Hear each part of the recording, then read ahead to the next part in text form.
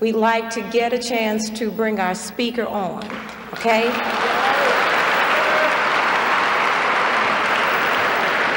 But before we do that, I want to share something with you for those that aren't that familiar with the African American culture, okay? When we have someone up here to motivate us, to inspire us, and to share a truth with us, we speak back to them. Okay? So when you see some of us saying, go ahead, Minister Farrakhan, preach that to me, don't take it personal. Try to understand where it is that we're coming from. And since I'm letting you know where we're coming from, you shouldn't be offended by it. Okay? You know how it is when you go to a concert and the music is good to you and you talk to them and sing and dance with them. We do the same thing. When we go to our Baptist churches and our ministers are preaching the word to us and there's a burning fire in our soul, oh, we have to talk to them. So don't get afraid, please.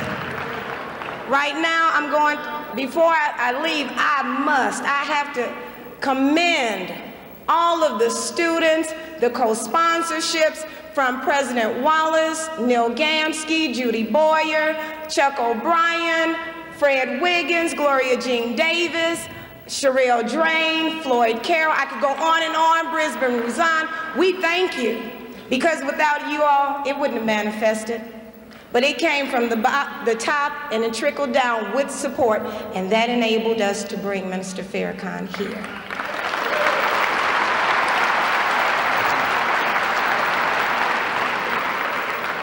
Right now, I'd like to bring on Mr. Clark Cradell, and he will introduce to you our Minister Farrakhan. Thank you.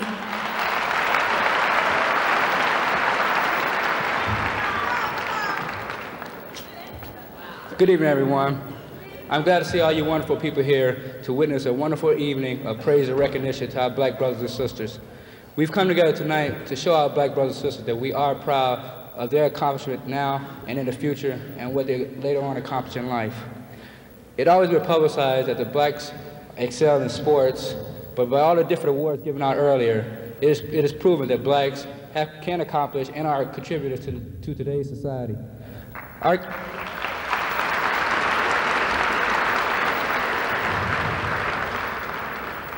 Our guest speaker tonight is one of the true motivators of the world today.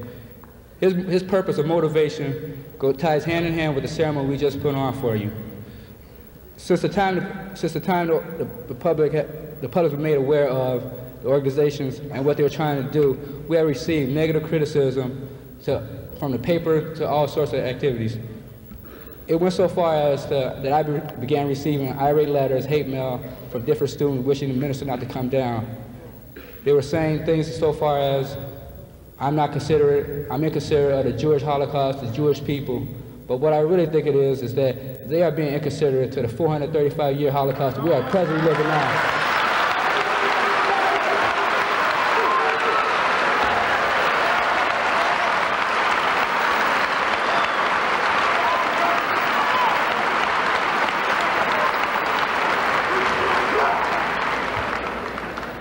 We invited Minister Farrakhan here for the sole purpose to help raise our consciousness, remind us of the past, so that we will never let that happen again.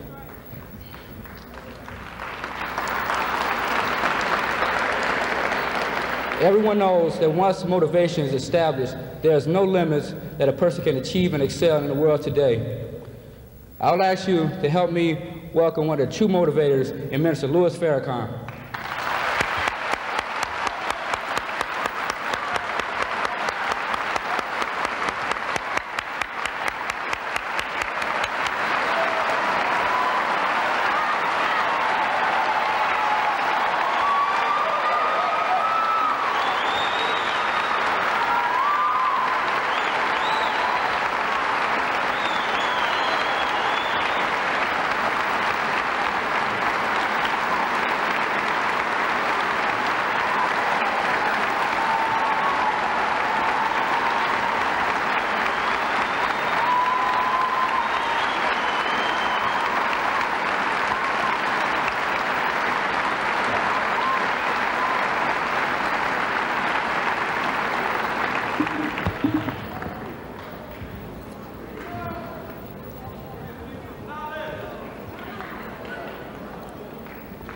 In the name of Allah, the Beneficent, the Merciful, I bear witness that there is but one God, the Creator of all things, Revealer of all truth, Sender of all prophets.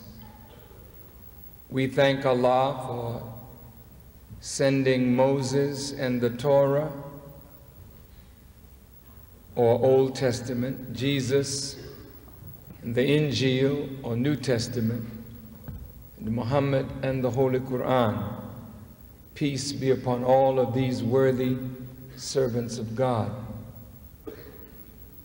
I thank Allah personally for raising up in our midst a divine leader, teacher, and guide who has made the Torah, the Gospel, and the Quran relevant to the liberation struggle of black people in America and oppressed people throughout the world. I speak of none other than the Honorable Elijah Muhammad, uh, my teacher, our teacher.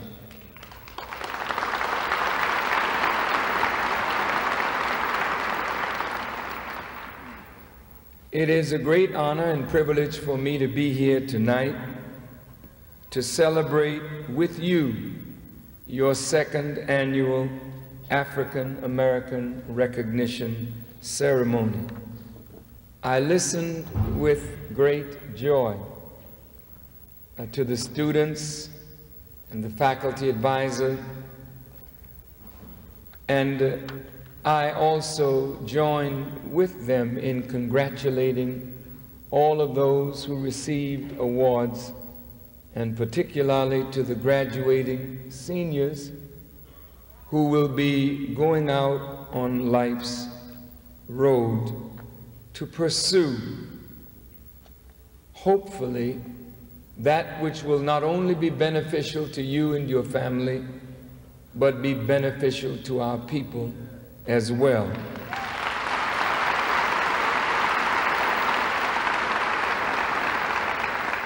Illinois State University is a microcosm of the larger society.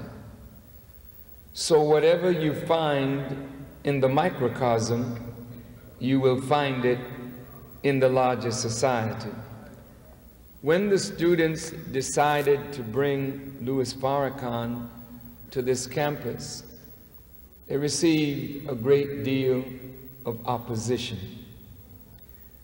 Because, of course, to some, I'm a bigot, an anti Semite, a hater, and whatnot. To my people, I'm the exact opposite of that.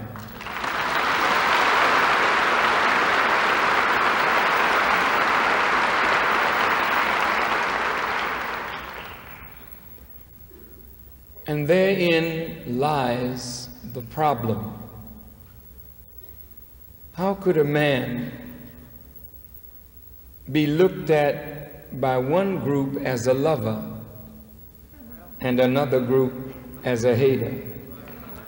By one group as a teacher of immense value, by another group as a demagogue, a bigot, and a hater. Is he really what your campus paper says he is? I'm glad that you had the courage to come out and hear me for yourself.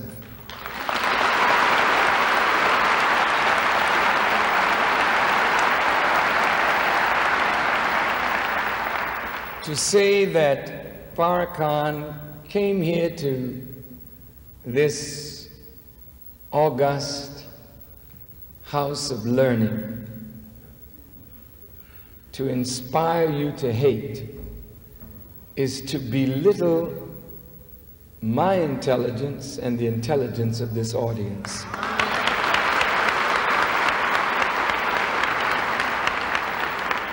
And if the professors at Illinois State University have done their job.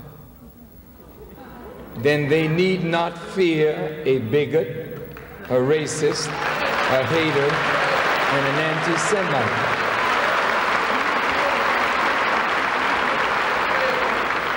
For if you have done your job and you have educated these young people, then they will assign me to the rubbish heap to which haters, bigots, and anti-Semites belong. However, if you have failed in your duty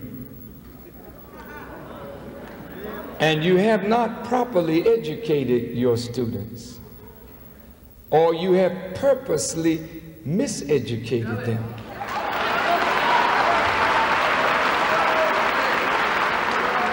Then, of course, I understand your fear.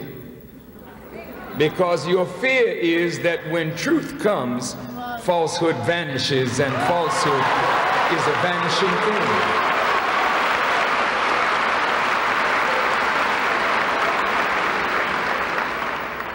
I was particularly struck as I read some of the articles in the campus paper characterizing who and what I am and the great effort that you went through to educate the students on Louis Farrakhan.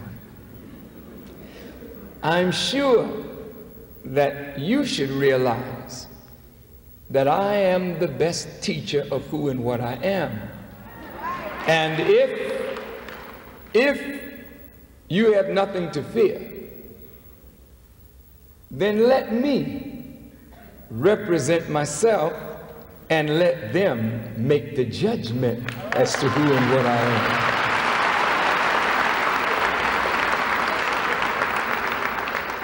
My coming here, they say, is bad for group relations. What group?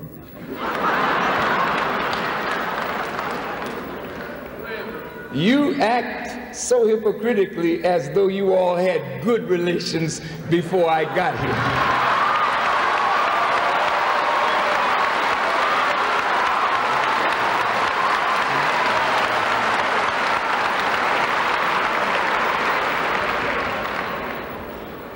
While the converse is really the truth. You don't get along well at all. So why blame all of that on me? I'm not the one who founded this institution.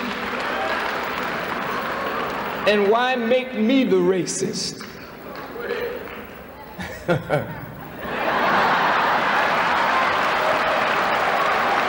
As though I created the disease that afflicts this university, afflicts America and the world. I am a victim as they are of your racism. So many of today's whites don't understand the legacy of racism. Farrakhan is not oppressing you. And black folk don't have the power to oppress you even should they want to. So racism has a power component involved in the equation. One not only dislikes another, but has the power to enforce his dislike. Not only have whites disliked us, but they had the power ever since our fathers were brought to these shores as slaves to enforce their dislike, their hatred of us. And that's why we're in the condition that we're in. We're not the racists. We have come to end racism once and for all.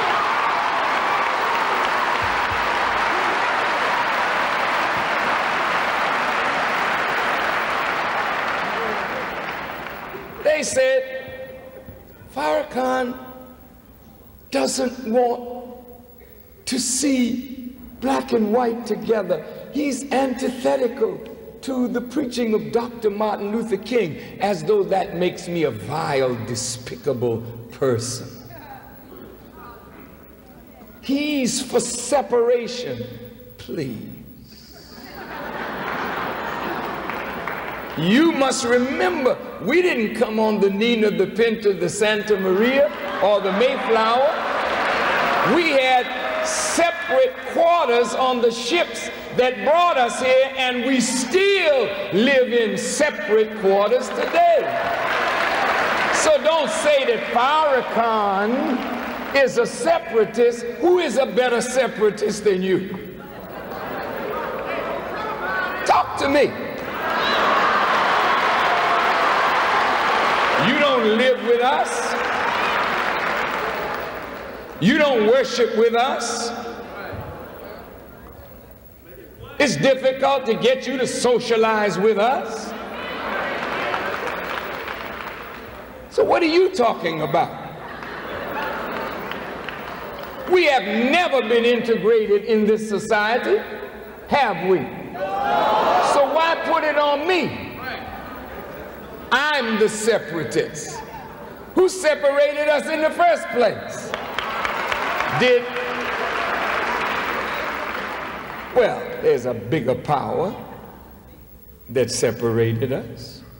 We all had boundaries.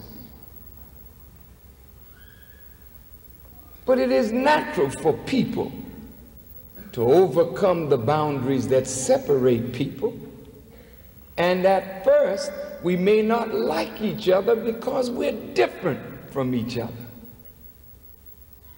But after a while, we should get to know one another and to respect one another, even if we don't love one another. But look at the situation. Many of our black students do not understand what has happened to us. And many white students do not understand what has happened to us. And therefore, when you look at black people in an inferior position and condition, not only in America, but in the world, you wonder, why is this? Are we really genetically inferior? Is it that white folk are the great achievers and and, and black folk really are just the good singers and dancers and musicians and ball players. Well, how did that sister get a 4.0 average? How, is she a, a freak of some kind? No, brother and sister. We achieve what we will to achieve. Now, now, now they are saying to the black students, you brought that bigot here, we're going to make you pay for it. This is an awful thing for the college to do. You give the black students $13,000 in their budget, a measly $13,000.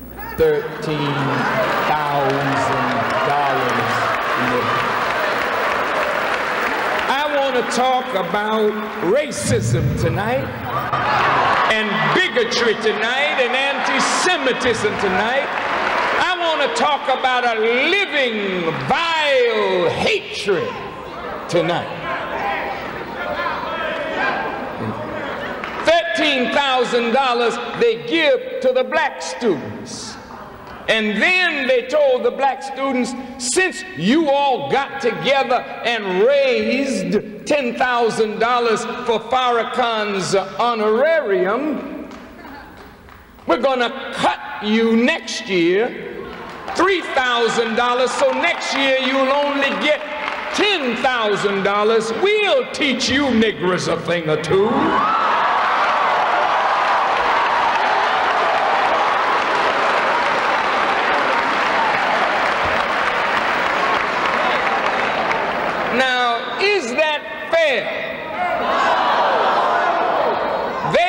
A speaker of their choice.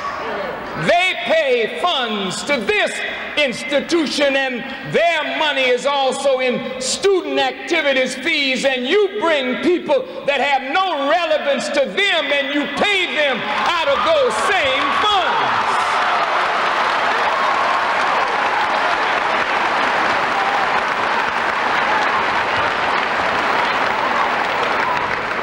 Don't be dismayed, dear black students, that they give me a jive $10,000 honorarium. Don't be dismayed. Mr. Reagan gets 50,000 to do this.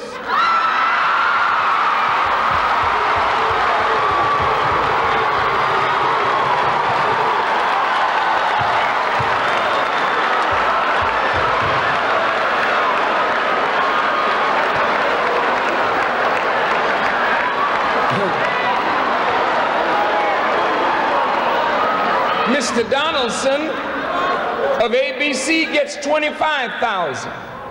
Fawn Hall, the young lady that only claim to fame is that she shredded documents, gets 15,000 per appearance. But of course, they're worth it. Because they're white. They're popular. Come on, talk to me. You, in your own minds, have devalued black people, and we are not worthy. How could a black man be worthy to command such a fee? Black people don't have wisdom. Black people are not consequential. Well, you stay here with me tonight for just one hour, and by the help of God, I'll teach you more in one hour than you've learned in all of your life.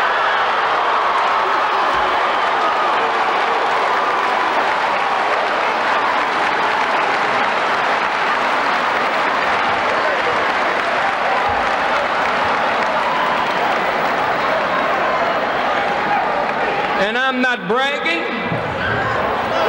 I didn't graduate from one of these institutions. But I have been blessed with a superior teacher. And what I have to impart to black students and to white students and to Asian students and to Jewish students and to whoever will listen, if you will listen with an unbiased mind, you will go out of here possibly with a chance to make yourself a better person. I would not waste my time or yours with trivia. But I want you to listen to this. Black students may not be the majority here, but white scouts go all over the country scouting the best black talent for your football team and the best black talent for your basketball team.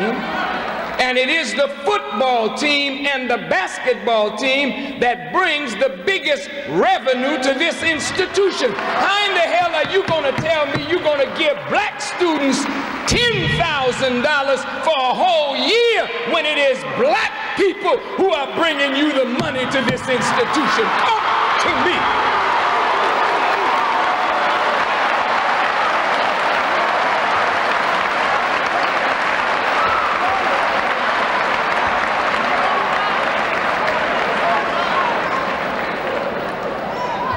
people pay money to see the Illini. The who? The Redbirds. With a whole lot of blackbirds on the Redbird team.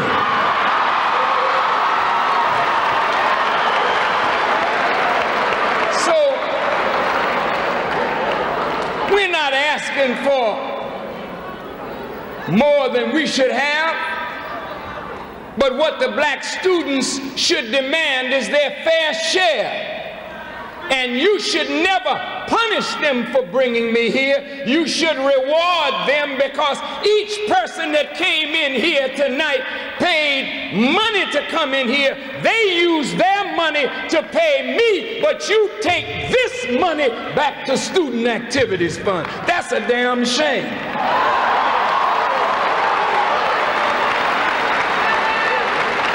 You're not only wicked, but you're thieves, robbers.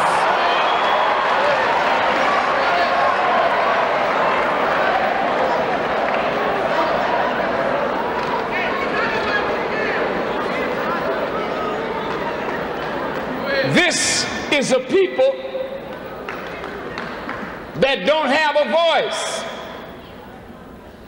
And every time they get a voice, that voice is stilled by the powers that be because they fear a voice that they don't control that black people are listening to. Today, every black leader that we have is being manipulated.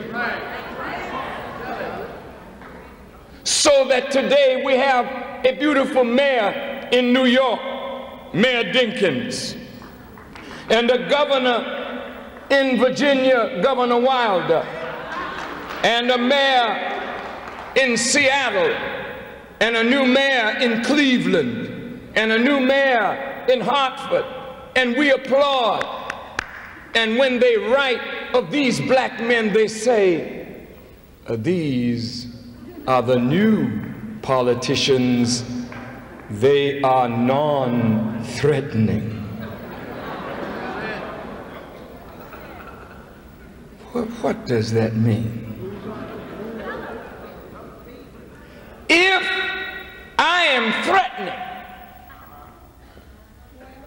for what? I don't shoot anybody. I haven't robbed anybody. I'm not planning to. But I'm threatening, threatening to those who have lied to you and deceived you because Jesus said, You shall know the truth, and the truth shall set you free. So now, if the truth makes me threatening, and being courageous enough to tell it makes me threatening. What makes a black man non threatening?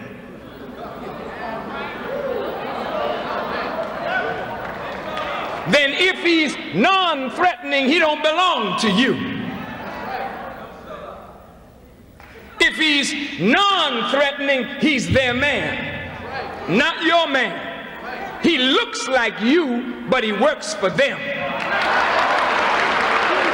And that's a hell of a condition to be in. To have a, a man that you putting your hope in because he comes from your people. But he's not working for his people. There is not an Italian here, not a Greek here, not a Polish person, a Jewish person, an Irish person here who would vote for an Irish, an Italian, or a Jew to go anywhere if they didn't represent Jewish or Italian or Irish interests. You know that to be the fact. Why should we then settle for non-threatening politicians who rule and guide for others and do not stand for us when we are the majority who have elected them?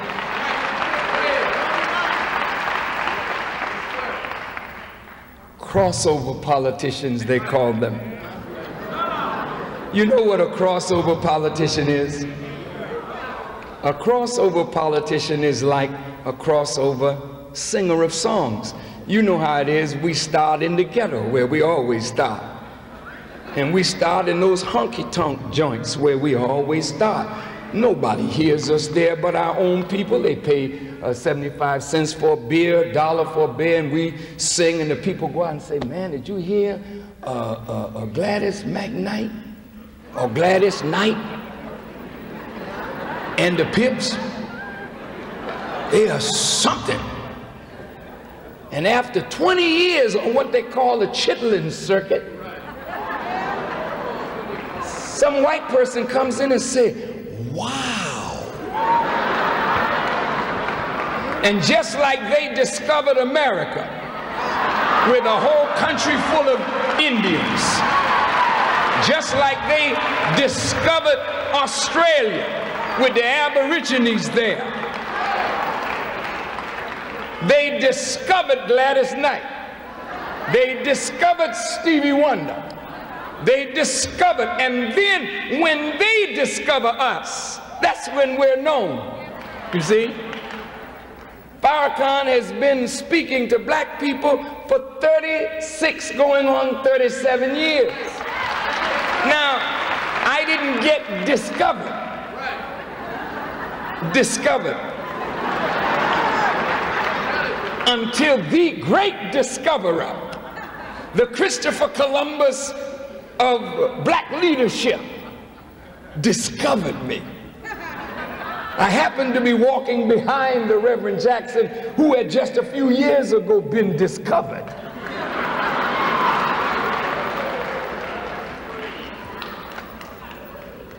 The very word discovery and the way you use it is a racist kind of term. You're not interested in black people, but when we can make a dollar for you, you become interested. When we can move you along, further your aims, your ambitions, your goals, you become interested in black people. But until then, you have no interest in us whatsoever. How dare you say that I'm bad for black-Jewish relations? What black people do you relate to? You don't relate to the black people on 43rd Street in Chicago, 63rd Street on the west side. We don't see a Jew. We don't know what you look like. So what kind of relationship am I messing up for you? You hypocrites.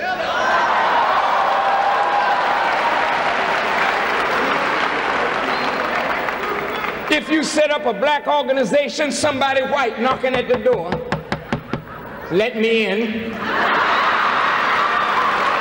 And if you don't let me in, you know, that's a racist group you're in.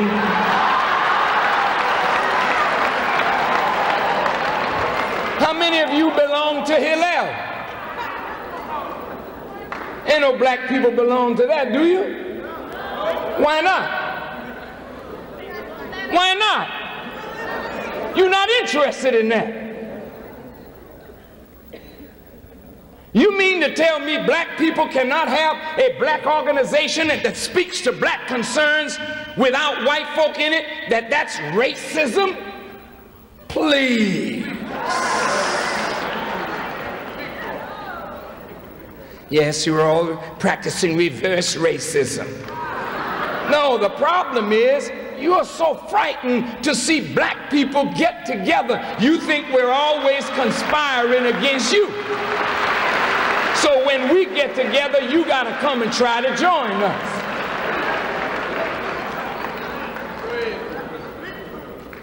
That's not my subject. I didn't come here to say that. But I just wanted you to, I just wanted to ventilate some of these things that are on my heart for these hypocrites that write in the newspaper about Farrakhan. You don't know me. You don't know me well enough. Some of you have never heard me, never had a chance to question me.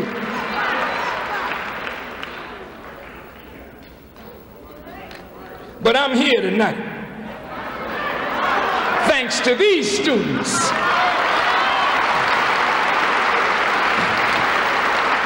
So I'm going to hurry through our subject matter.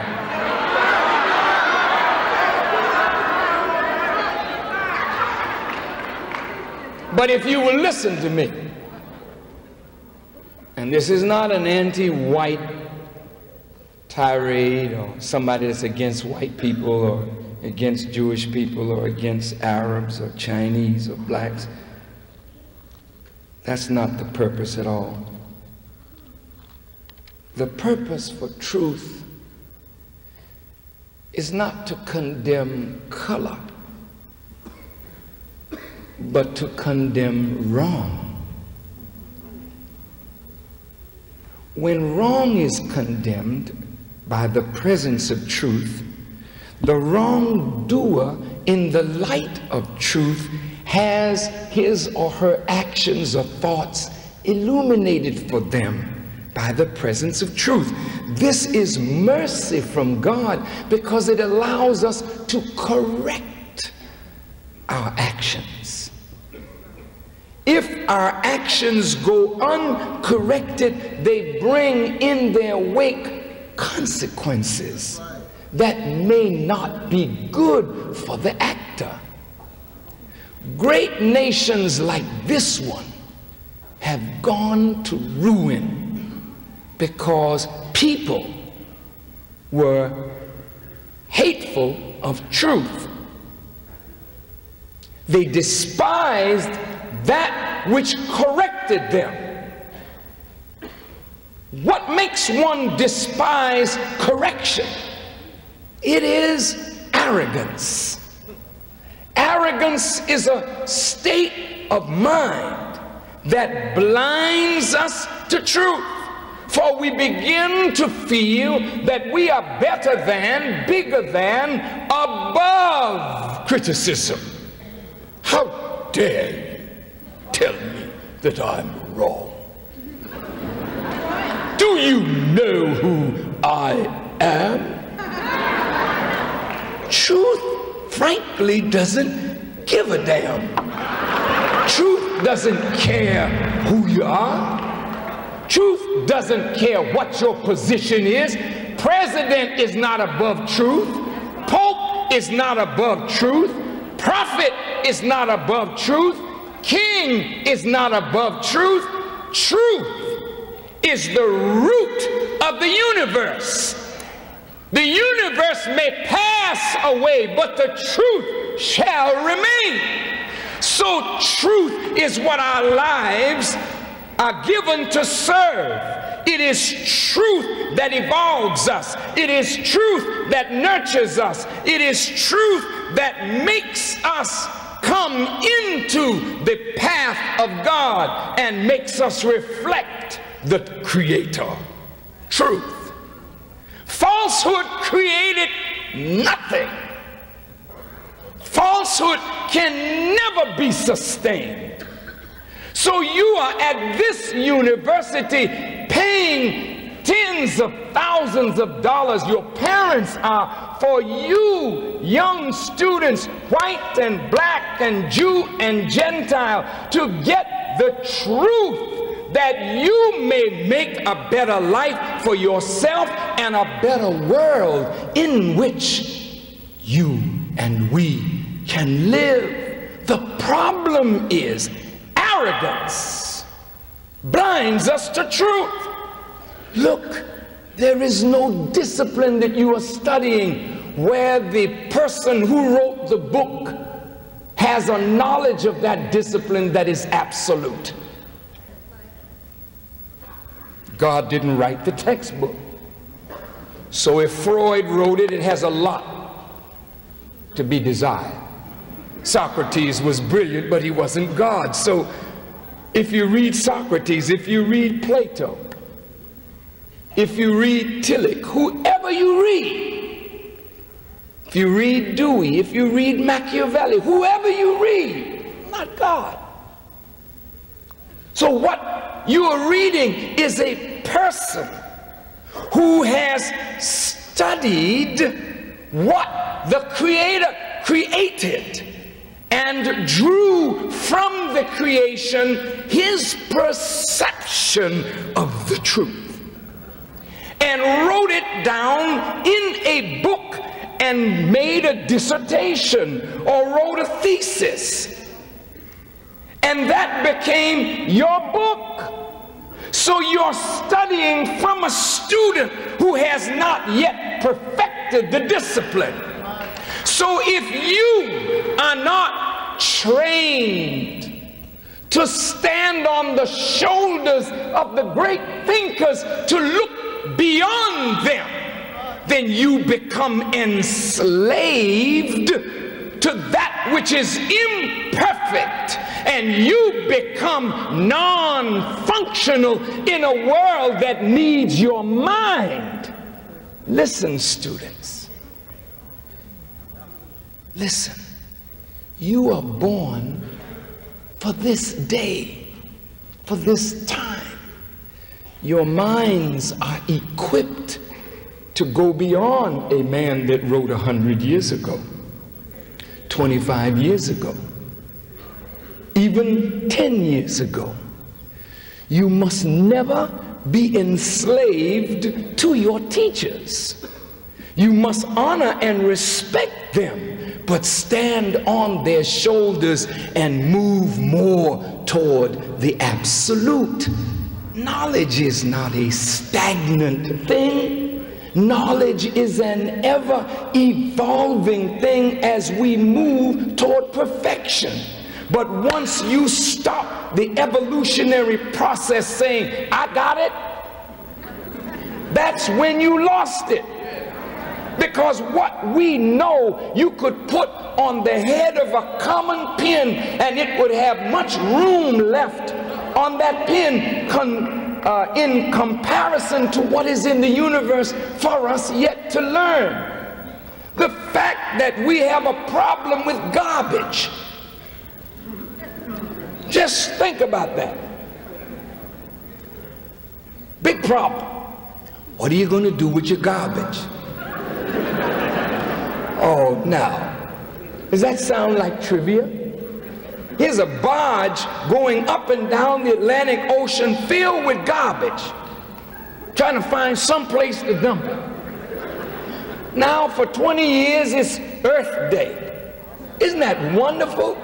At last, after you all been in power all these years, you've learned now, oh my God, we better do something to protect the earth. The Native American could have told you that the day you met them.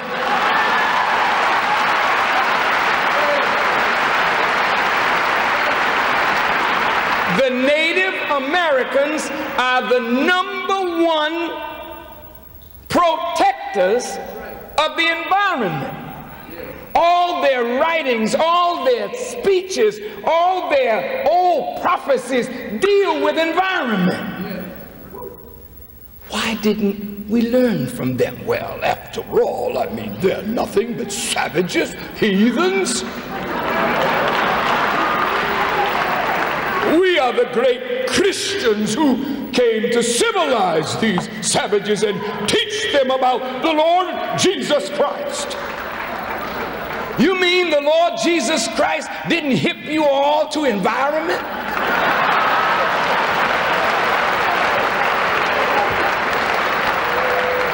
You mean one who came to lead and guide us into all truth didn't tell you to protect the earth? But greed, you see, arrogance, cause you to pollute the earth, pollute the air, pollute the water. Now you have a problem with garbage. But of course, you are studying economics. Isn't that interesting? And the Creator has no problem with anything. He recycles everything. What a masterful economist. But of course, God, let's, let's leave him out of this because what does God know? You put your little cheap knowledge above the knowledge of the Creator. And that's why you're in the condition that you're in.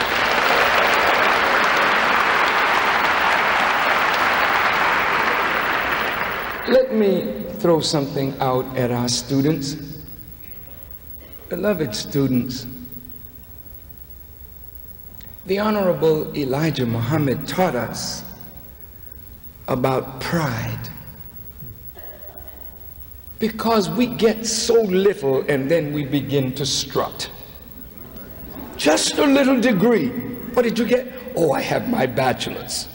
Which one? The BS or the BA? Well, more the BS than the BA. But one of those degrees I have. Now we can't stand you. Whoa. You put it on the wall. And what do you have? I have my master's. I, yes. And which one do you have, Professor? Listen, I have two PhDs. And what does that make you? I am a doctor. Good. Doctor, if you are the doctor, what did you get your doctorate in? Well, I, I got my doctorate in sociology. Then why can't you heal the society? You see, the society presents you with problems that's beyond your degree. Isn't that right, doctor? Talk to me, doctor. You see, arrogance will make you lie to yourself that I am a doctor of sociology. No, you're not. The very word doctor says you can heal whatever is wrong in the discipline that you study. Then heal this sick society, doctor. You don't even know where to begin. I have my doctorate in economics. You do, do you?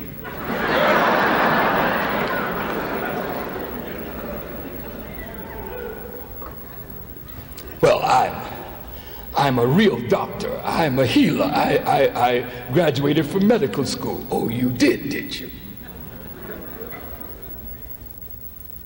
And the doctors do not outlive their patients. He knows the art of healing. He dies at 47 with a stroke. More doctors on drugs than their patients. But you're the doctor. I suggest that the doctor needs a doctor. And I respectfully suggest to you that what you call wisdom, God calls it foolishness. And what you call wisdom, he said, I will make the wisdom of this world foolishness with God. Because now the problems have overwhelmed the society. And you do not have the wisdom to solve the problems. This is done by the Creator, allowing you a free hand to let your hand create a mess that your own hand and mind can't solve, so that maybe, perhaps, you will become more humble and seek answers. And if you seek, you shall find. If you knock, it shall be open unto you. And if you ask, it shall be given. But if you think you already have it, then you're not seeking nothing. And I respectfully suggest that this is the problem of the world. The leaders are really ignorant. And God is turning their wisdom backward. Look at Eastern Europe for a moment. Just about three months ago, Margaret Thatcher, Helmut Kohl, Mitterrand, Gorbachev, Bush,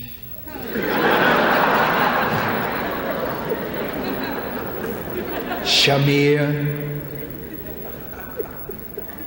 They could sit together, talk together, but they could not predict the movement in Eastern Europe. Think about that. Mossad, which is the Jewish, the Israeli intelligence um, uh, component, something like America's CIA.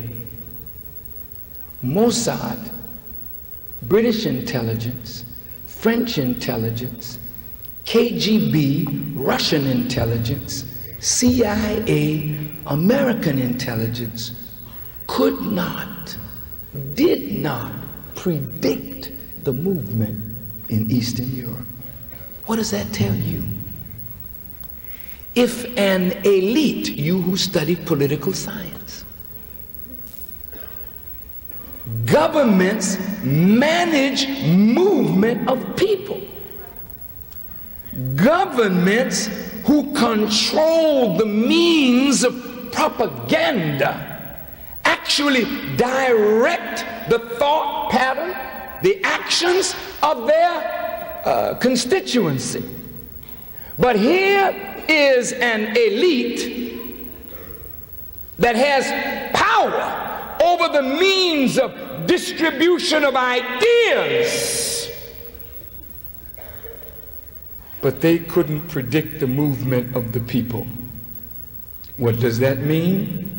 There's another power at work in the world, moving people beyond the power of government to stop that motion. So governments tumbled like this. You remember Ceausescu, the powerful Romanian dictator, with his great squad of secret police. Look how quick he tumbled down. In two weeks' time, the supposed impregnable man was overthrown. Do you remember the Shah of Iran? While he was here sitting with Jimmy Carter, tear gas was floating over the Rose Garden. Iranian protesters. And Mr. Carter was saying, Oh, it's nothing. He'll be around for a long time. This is powerful. But he was overthrown. When you see things happening afar off, be wise know that it can happen right in this great nation. There's a movement among the people today that government is not in control of. The fact that this media, who has been used to moving people, When they get ready for Gaddafi, they make the American public see Gaddafi as a terrorist. Terrorist, he's a terrorist, he's a terrorist. Then when they bomb him, they take a poll. What do you think? this is to see whether their stuff is working. And when they took the poll, 86% of the American people agreed that America should bomb Gaddafi. But when the truth started coming out, that percentage started dropping, dropping, dropping until it got into the early 60%. The government managed well. When they got ready for Noriega, Mr. Noriega, he's a drug dealer. He's an indicted drug dealer. Terrible fella, that Noriega. Who was he dealing drugs for?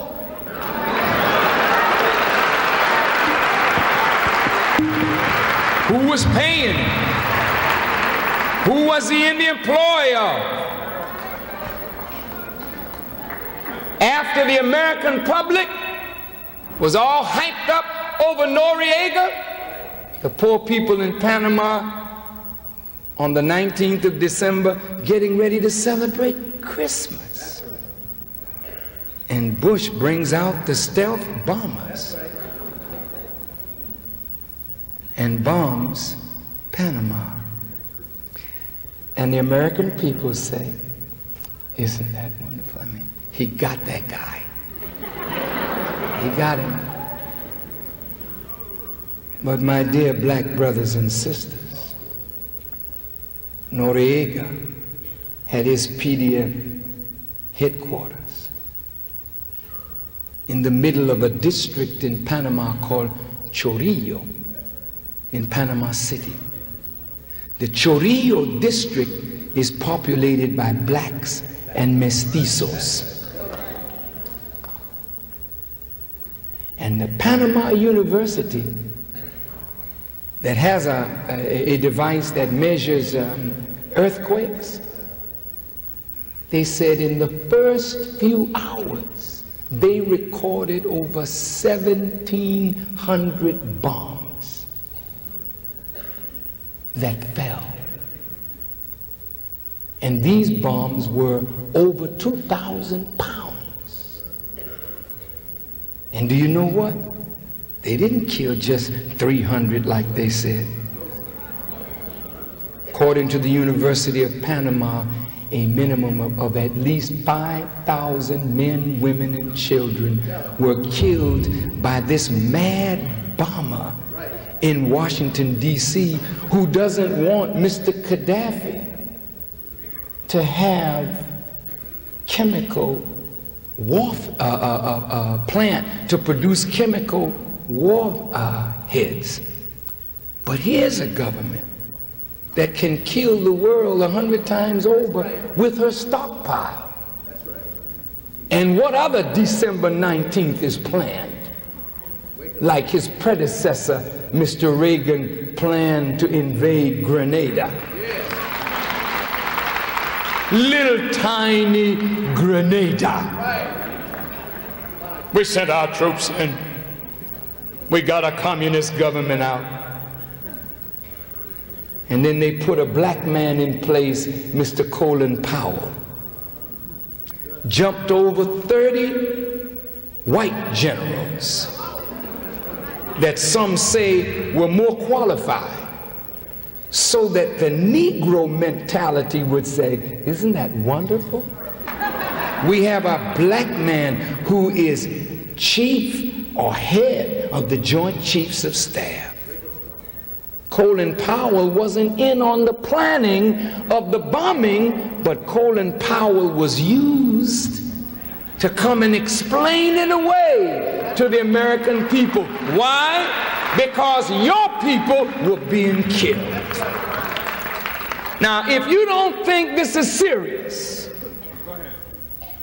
I would like to bring this talk to a climax by quoting from the Holy Quran, which is the book of scripture of the Muslims, and then tying it together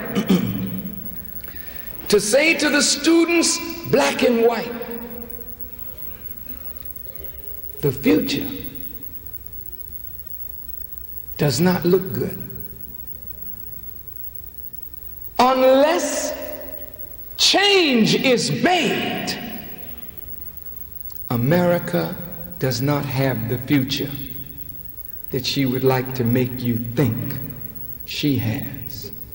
And you don't have any future at all if you continue to think the way you think now. And how do you think as a student?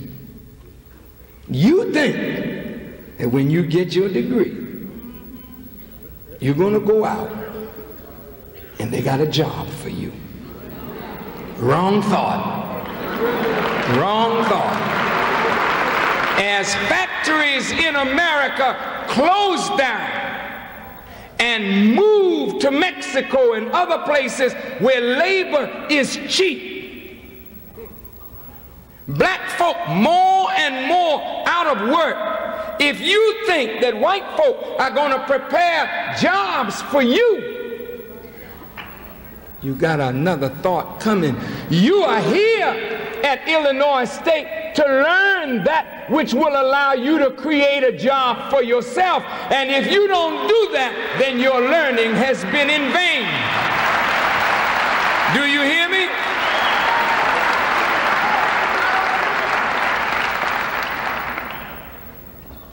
Just like the basketball team, maybe one or two of those black stars will make the NBA. the rest of them, if they don't have anything up here, after they graduate, that's it, brother.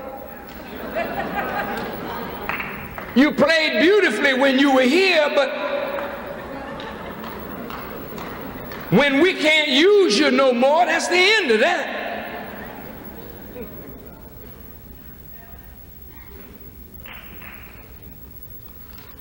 And uh, to the white students, the world is changing so fast.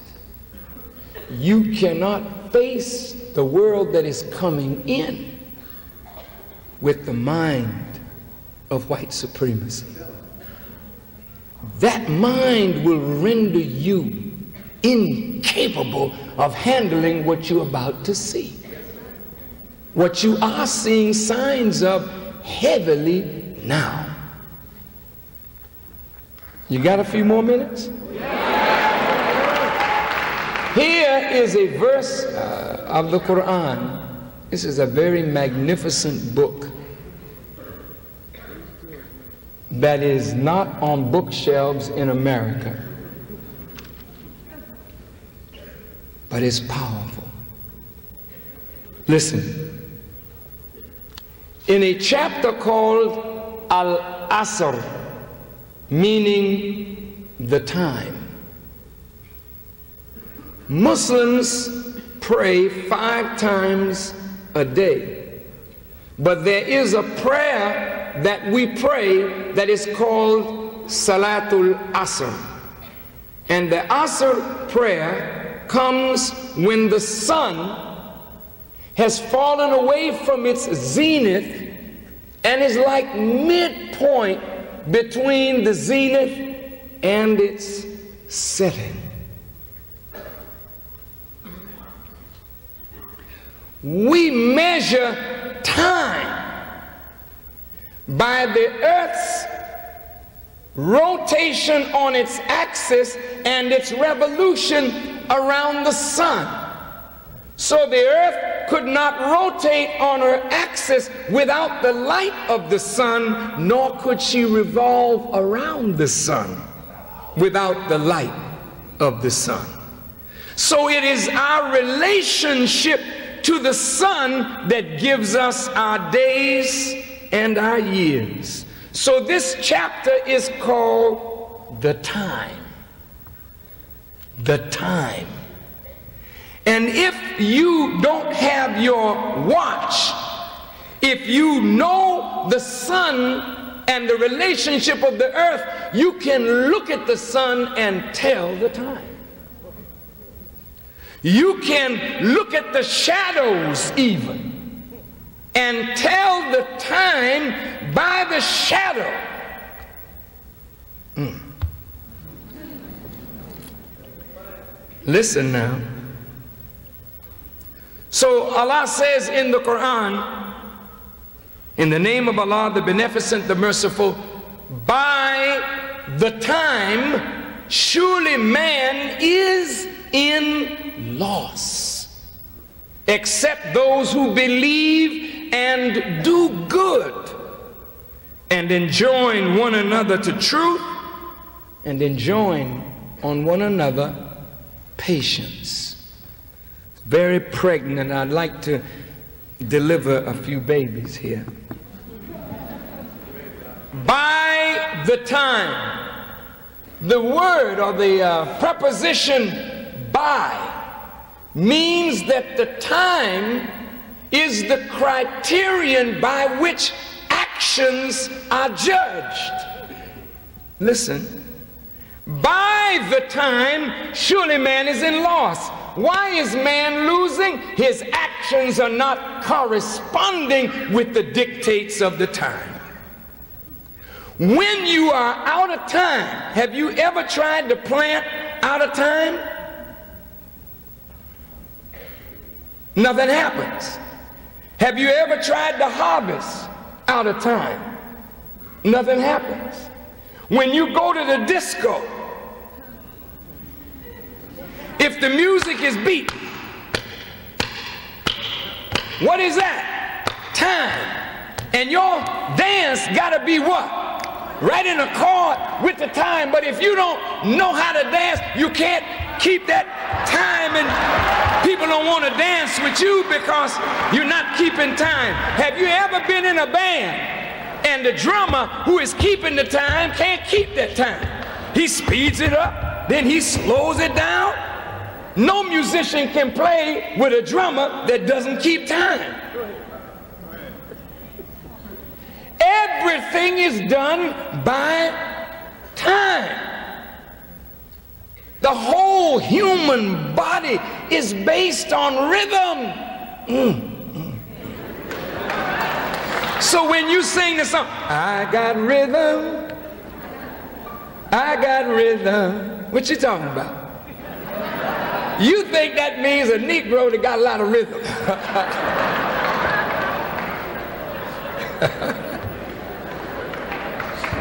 but look, this heart has a rhythm that it has to keep. When it speeds up or slows down, this is a worry for a doctor, the vital sign. Rhythm, pulse, beat, blood pressure, rhythm, timing. Everything is on time. But when you get out of sync, out of time, things don't go well for you. When the body is not working rhythmically right, the organs begin to work at odds and it creates dis-ease or disease. Time. What time is it? Not by this watch. What time is it by the universal clock? Each prophet that came into the world marked time. And if you can't read the prophets, you can't read the clock. And if you don't know the time, then you don't know what you should be doing. And if you don't know what to do and you don't know the time, then you're about to lose not only what you have, but you can lose your life because you're not on time. Now, this Y'all all right? Please follow me now. The sun, when it reaches its zenith, you watch, the shadow is very short. When the sun rises in the east and strikes an object, the shadow is long in the west. But when that sun reaches the zenith, the shadow has drawn up from the west back to the object. And as the sun starts setting, the shadow starts going back toward the east. A lot of wisdom in that.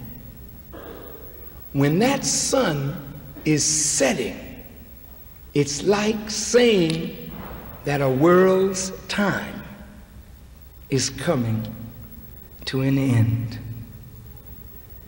And if you notice, when the sun sets, it sets in the west. And if you watch one of these beautiful sunsets, the sky looks like it's on fire. And this is what God threatens the world with at the end. It is total fire. The Western world has exercised power over all the darker people of the earth. You agree? Yes, sir. The light shined in the east, and the shadow on the Western powers gave a long shadow in the west, meaning the Western world or white world began an ascendancy to power. But it's Asr now. It's afternoon. The sun is setting on white world supremacy. Listen, just listen. Don't get emotional. Just listen.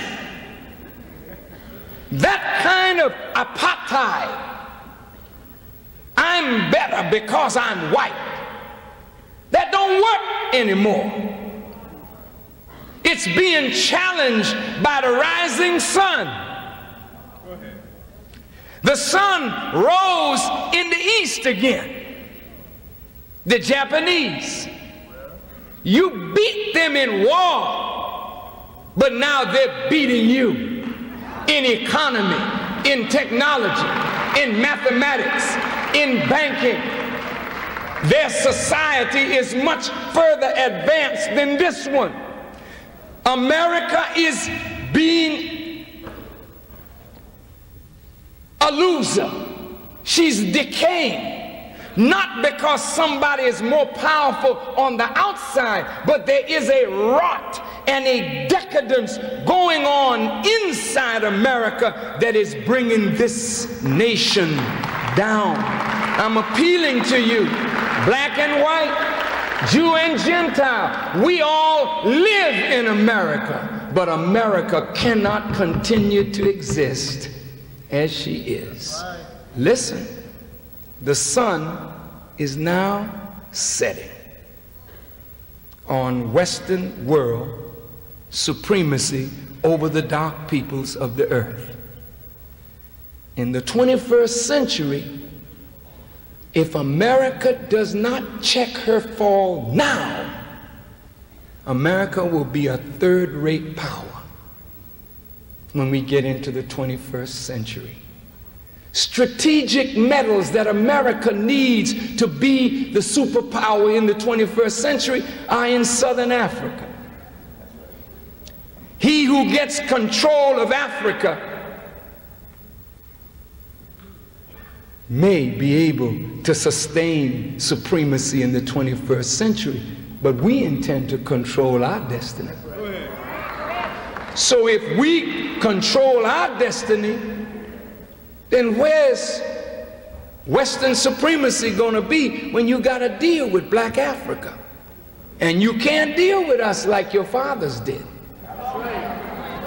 You have to deal with us wiser than your fathers, more just than your fathers, because the black world outnumbers white people 11 to 1 on this earth, so we are not any minority.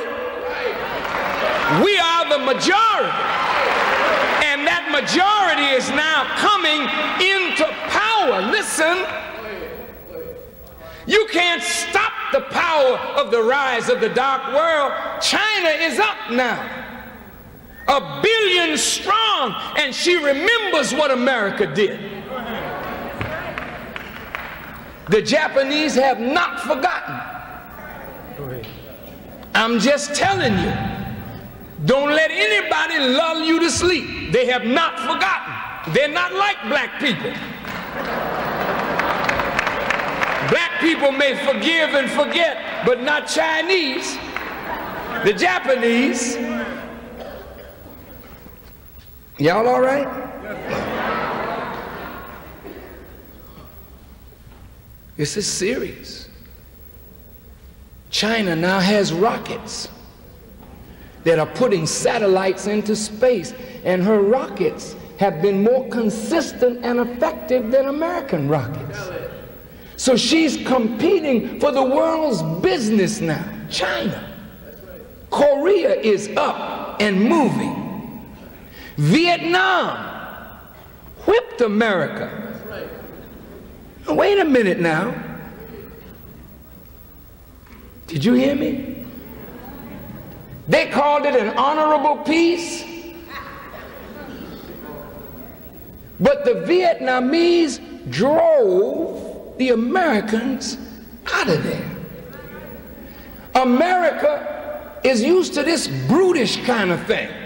Bomb, bomb, bomb, bomb. They didn't know these people learned to live underground. And they'd go underground and America would bomb, then they'd come up. America never had that kind of fight before. Ask the Vietnam veterans. And after they fought that war, they come home to be mistreated. Many Vietnam veterans are angry, dissatisfied because the government sent them to war. And the government never backed them up. Many of them dying with cancer because of Agent Orange, and the government is hedging on its responsibility to its own citizens. Oh, this is serious. You think that revolution is not coming inside America? You just keep breathing. And if the government continues to mistreat the American people as the government is doing, lying to the American people, deceiving the American people, you think it's the blacks going to rise, but your own people are going to rise up. The National Rifle Association has armed white America well. Arm them for you. Oh, I've got to make it plain. Because, see, if you don't know what time it is, you really don't know what's happening, brother and sister. And I'm not here just to make you feel good, I'm here to hip you. And if I never see you again, you'll never forget what you heard me say tonight. Never in your life will you forget.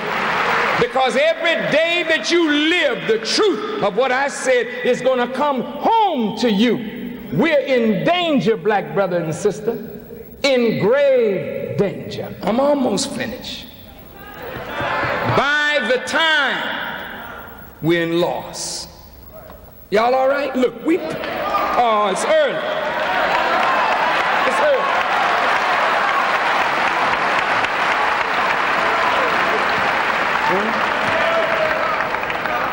Y'all were just gonna party. This is Saturday night.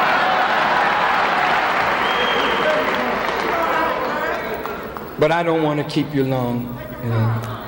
But I do want to uh, say this. If I were in the government, I would not let America lower her defenses because this is the lull before the storm.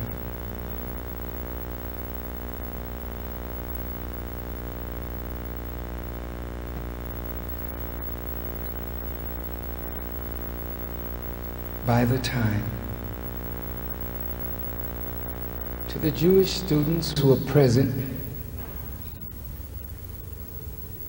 you just celebrated Passover, a time in the Jewish calendar when you celebrate your freedom biblically from Pharaoh.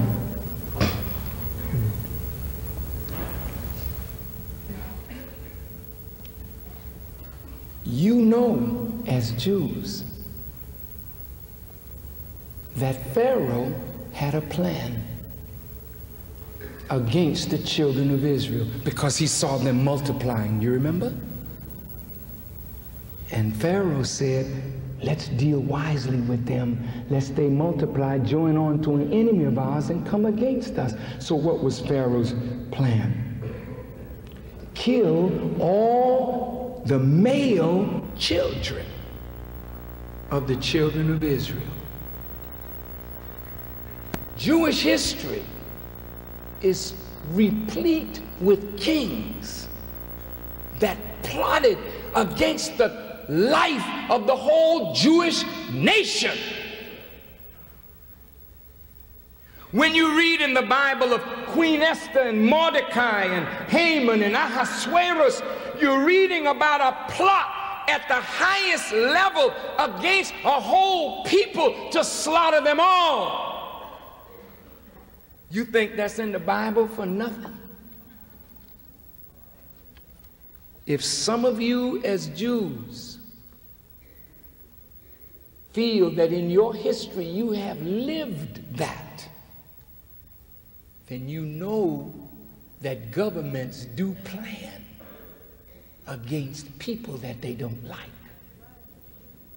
Did Hitler plan?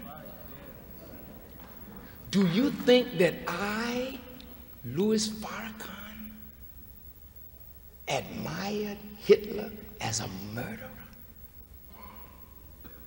And admired a man that hated blacks as well as Jews? Don't misread me. You know better than that. But Hitler came to power and he had in his mind the killing of an entire people. He felt that Germany could not rise unless the Jews were crushed. He felt that way. And did he plan against their lives? Did he? Did history say he did? Listen, brothers and sisters, I'm not talking to be talking. That's just 40 years ago. That man planned against the life of a whole people.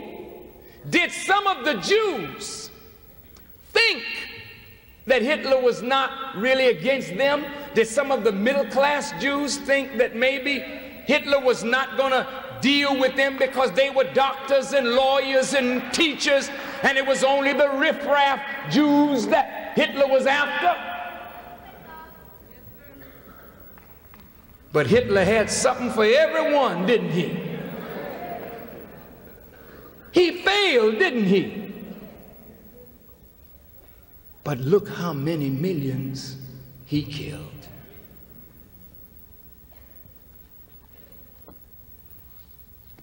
Would you be surprised if I told you that the government in which we live has the same plans for you? Wait, wait, wait now, wait. I know what you say. It's incredible. Farrakhan is suffering from paranoia. Uh-uh, baby. That man is just prejudiced. I'm not prejudiced. To be prejudiced is to judge before a knowledge of the facts. We've lived under this government for 430 years. We know what this government is capable of doing. Let me help you to understand. Now, brothers and sisters, you and your fathers built this country. Before many of these whites knew that America existed, your fathers were here building this. Agree? Many of these whites, most of these whites, all of these whites had nothing to do with slavery. They had nothing at all to do with what happened to our fathers. Is that true? It is true. They weren't here. They just weren't here. Some of these white students are second and third generation Americans. You were here before the Mayflower. You came according to what is written in the Congressional Library in Washington and what the Honorable Elijah Muhammad taught us.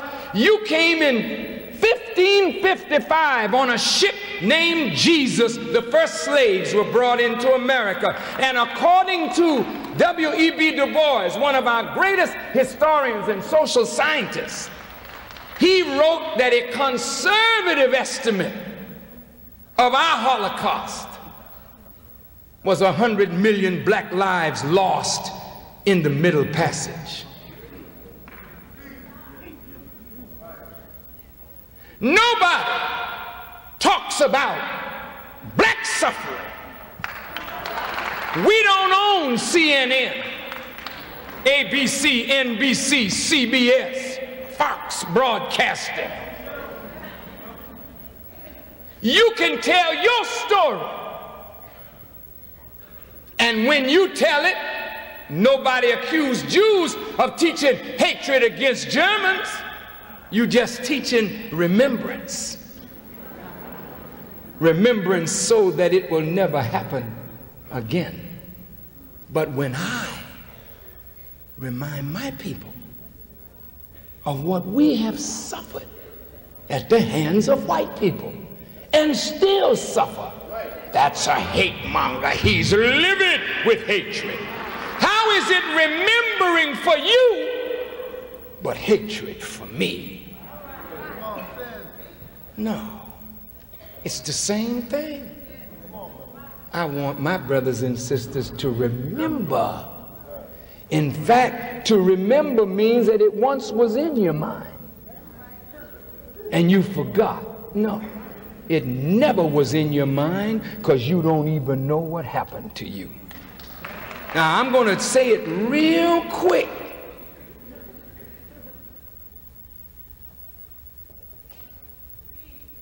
When our fathers were brought to these shores, the slave masters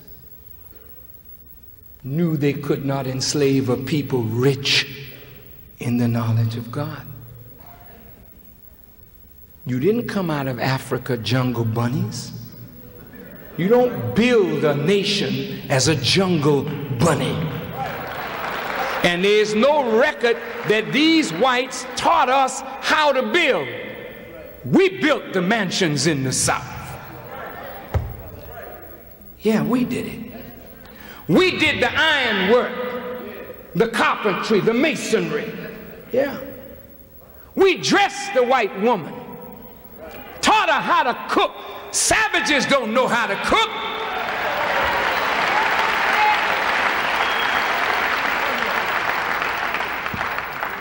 But look at you. You were not allowed family. They mated us like animals.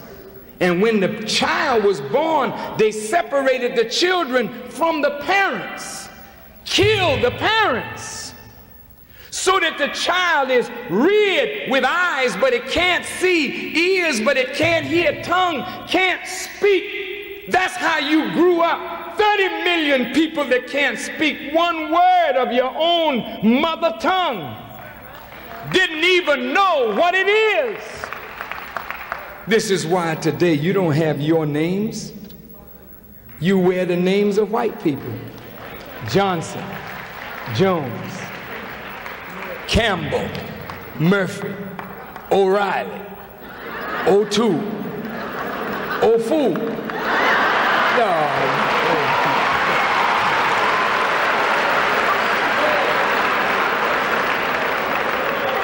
Look at you. Overbrook scored again. Overbrook. Underhill got it again. Roundtree did it this time. These are not your names. And poor thing, you in Illinois State signed in wrong.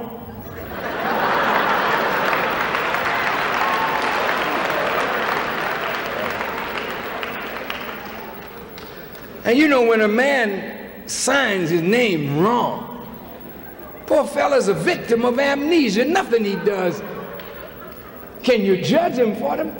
Been hit in his head. You Masons, you know what I'm talking about. Brothers, you were not allowed to take a woman and marry her and develop a family. That's why our families are broken today. It was slavery that broke up the black family. He was allowed to get you pregnant. And that's what he does today. He has not been washed of the stench of slavery. Not yet. He doesn't have a healthy regard for his women today. He does not respect his woman today. She's an object of pleasure, but she's not a serious creation of Almighty God. And this is why you sisters are catching hell night and day because you're looking for a man that will love you and honor you and respect you for what you are.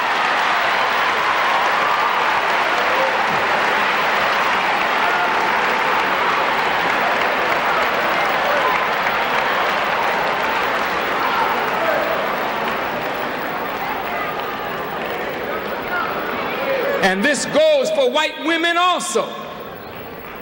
men are not dealing with you for what you are, for who you are. They're not dealing with your mind. They want to deal with something that rhymes with mine. You heard me?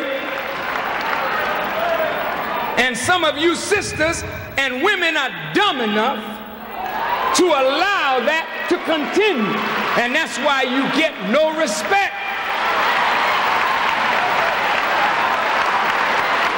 You allow it. You allow men to make you a piece of meat. Like when you buy meat, take it out of the case and let me see it. It ain't red enough. Let me feel it. Now that's the piece. How much it costs? And that's what you're doing to yourself.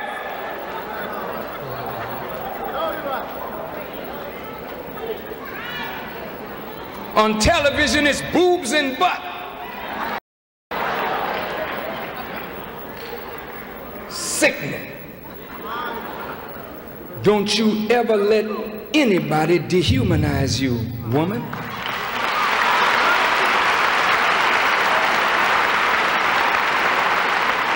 Without a woman, there is no man.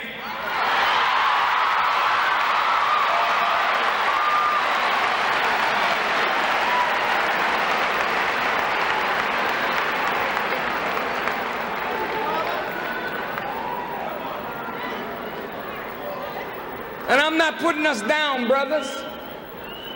But from the time the slave master had us, they made us stud horses. Big, strong black men that made babies, but the master took care of them. So we're not interested in responsibility.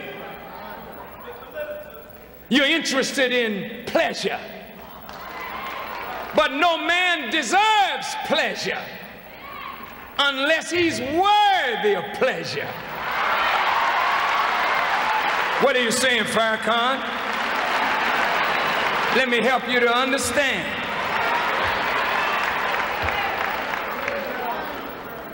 See, sisters, women, God created all of you in a very special way. The Bible says he created woman listen, as the help meet of the man. Not mate, help mate, help meet. To meet means to join, to connect. What are you talking about, Farrakhan? Adam was given a mission. Adam was told, multiply, replenish the earth, and subdue it.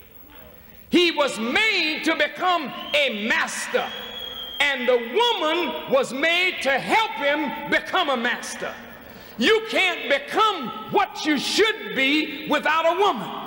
That's why God gave the woman to the man. But to deny the woman is to deny yourself. To crush the woman is to crush yourself. So when you got a man that's going no place, listen to me. Y'all all right? Don't get mad, brothers. Don't get mad. Don't, don't be angry with me.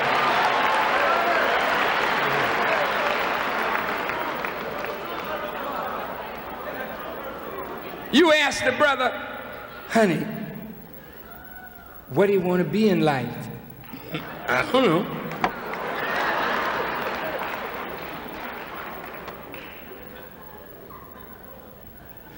I mean, I mean, what is your goal in life? Goal. Well, just, just throw this ball in this hoop. I'm gonna get 20 points tonight.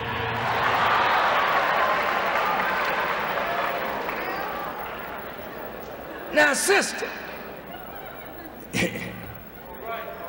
you can't build no future on 20 points tonight. If a man doesn't know where he's going, can you help him meet his objective and he has none? And how can a man want pleasure and consolation when he's not working to deserve consolation? Uh-oh. I said something wrong. Do you know that a woman, I don't care what her color is, loves a man who's going someplace? That's why she likes to take his arm. You don't take a man's arm, he ain't going no place.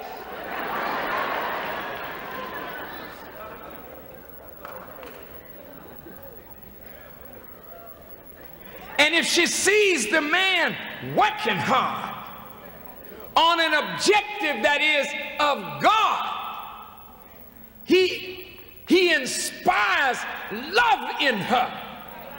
She'll stay up with him to help him meet his objective. She'll work with him. She'll give him good suggestions from the female perception of reality. But when a man is not thinking about nothing, Hey, baby, let's uh, go over here. I want to talk to you, man. I want to talk to you. you better stay out of that kind of conversation. Because the minute you become pregnant, then you go to him and say, honey, I'm, I'm expecting. What are you expecting? Don't tell me that. You better get rid of that. Why? You want pleasure but no responsibility? And y'all want pleasure but you don't want responsibility? You run from responsibility to the abortion clinic? It's bad, isn't it? Bad for us at 19 to kill or at 14 to kill. But it's all right for you to kill the fruit of the womb and the answers to your prayers. All our prayers are answered through the babies that we produce. The cure for cancer is coming from the womb of some woman. The cure for AIDS is coming from the womb of some woman. The cure for the diseases of the world are coming through the women. And you don't know what you're killing. Suppose Mary, because of the tragic circumstances of her life, killed the fruit of her womb.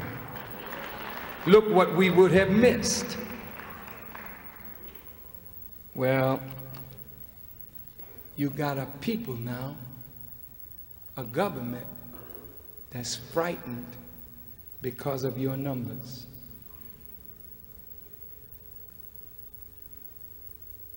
Three hundred years they worked us for nothing. We never got paid. But America became rich. You see, you all didn't do that to us. But whites today benefited from what happened to us. That is what you have to answer now. You know Senator Kennedy? You remember the song about John Kennedy? Has anybody here seen my old friend Johnny? Can you tell me where he's gone?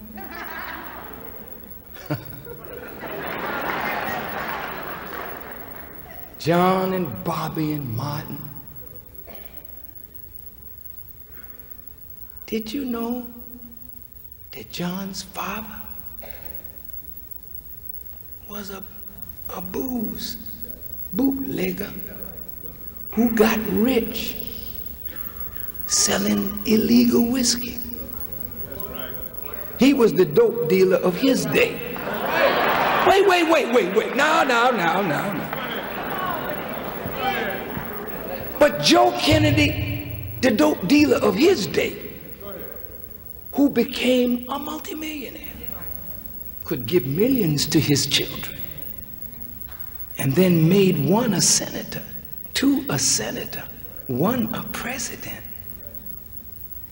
And when they talk about the Kennedys, when John was in the White House, they called it the Kennedy clan and Joseph the patriarch of the family. They never mentioned Joe the bootlegger. But suppose your father or mine sold crack and got millions of dollars and sent you to Illinois State? And then you became student government leader and then came out and started running for office. I bet you the press would say, so and so whose father was a notorious crack dealer to discredit you for what your father did. Well, if we take that same yardstick, how many of you present day whites could stand up on what your fathers did? Let me see, let me show you something. Look at this. This is justice. Y'all all right?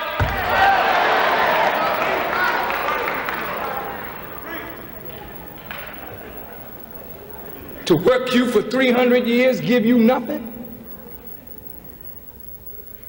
All the white children going to school, it's against the law for you to learn. White folks going to church. You can't even pray. Did you know that? In 1744, Reverend, they said it wasn't incompatible for you to be a slave and a Christian. So white folks set up the black church. Not in their church, it was a separate church. But I'm the separatist. They set up a separate church. And then they told black folk what they had to preach. Preach this part of the New Testament. Slaves, obey your master. If I smite you on one cheek, what you supposed to do? If I take your coat, what you supposed to do? Give me your pants. You're supposed to pray for those that despitefully use you, and you're supposed to love your enemy. And that's what you've been doing for a hundred years up from slavery, loving your enemies, hating your friends, and destroying yourself. Look at your condition. This is the way you've been taught.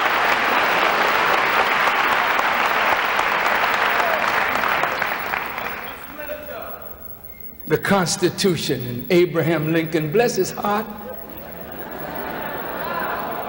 Honest Abe, he freed us, didn't he?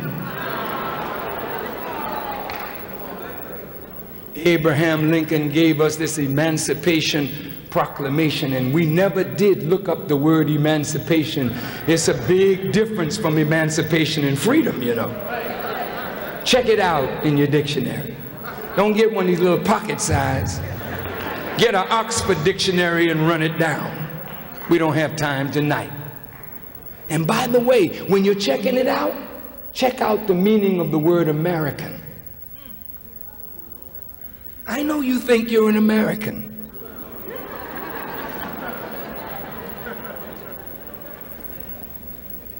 Did you know that no black, no Asian, no Arab, according to the definition of an American, can be an American? Unless America repudiates the old definition and writes a new one.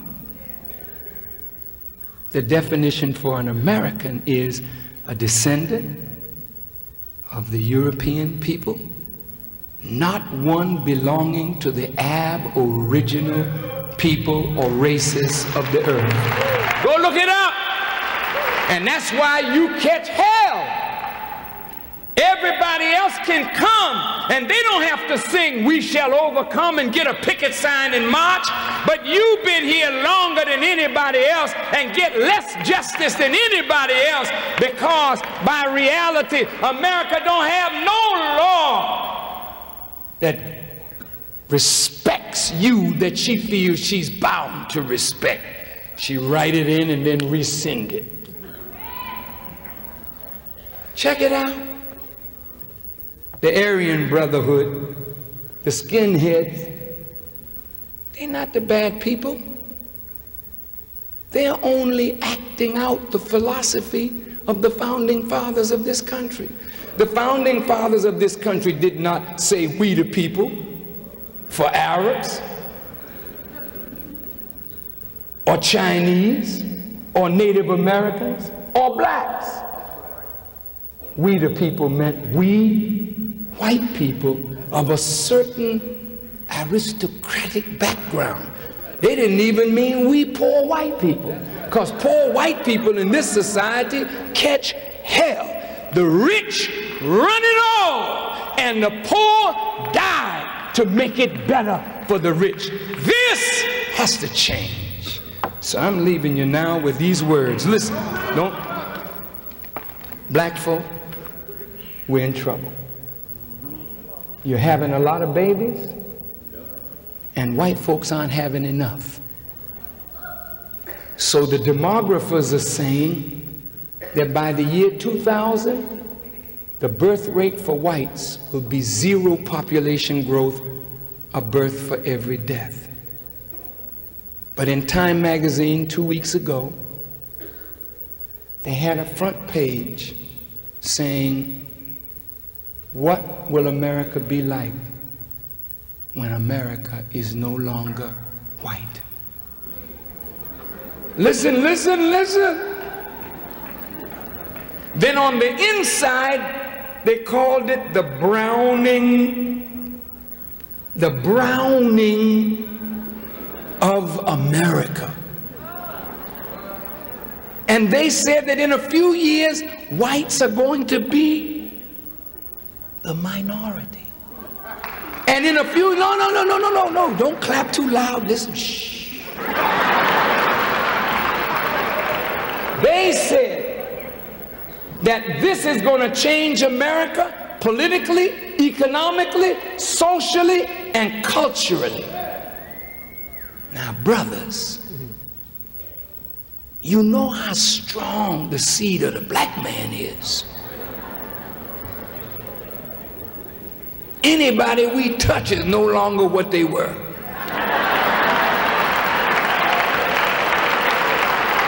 This is why white folks don't like to see you with their women.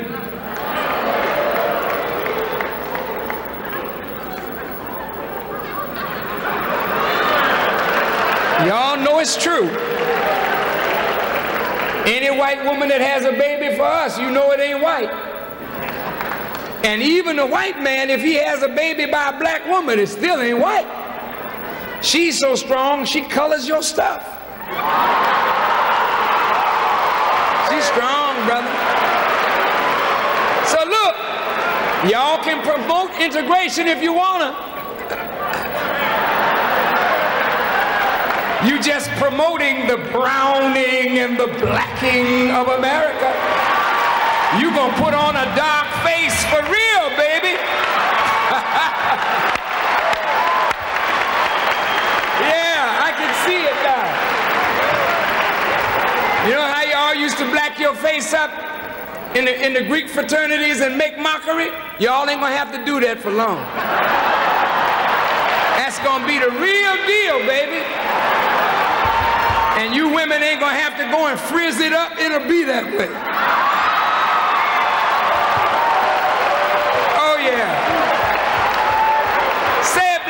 Brother and sister. It's our time. God has said our time to serve white people as slaves is up. God didn't make you to be their servants forever. It was only to last for 400 years. The 400 years is up. And if you still got a servant mentality, you're out of time and you're going to suffer loss. What time is it? It's time for you to get up now and do something to help yourself. It's time for you to unite with yourself and your people in love and brotherhood. It's time to do that. It's time. Listen, to the white students, it's time for the mind of white supremacy to break up. It is time you, as white students, need a new kind of teaching. A teaching that will prepare you to meet the new world, which is brown, red, yellow, black. That new world coming in, you got to meet with that world. And you can't meet with that world like your fathers met with that world because they were asleep when your fathers met with them, but they're waking up today. So you got to have a new kind of mind. You got to be prepared. And Illinois State University is not preparing the white students to meet what they're going to meet in the next century. They're not preparing you at all. And that's why Farrakhan is a man of value, not only to the black, but he's valuable to whites. If you will listen to me, you can live. Listen. Now, brothers and sisters, to you.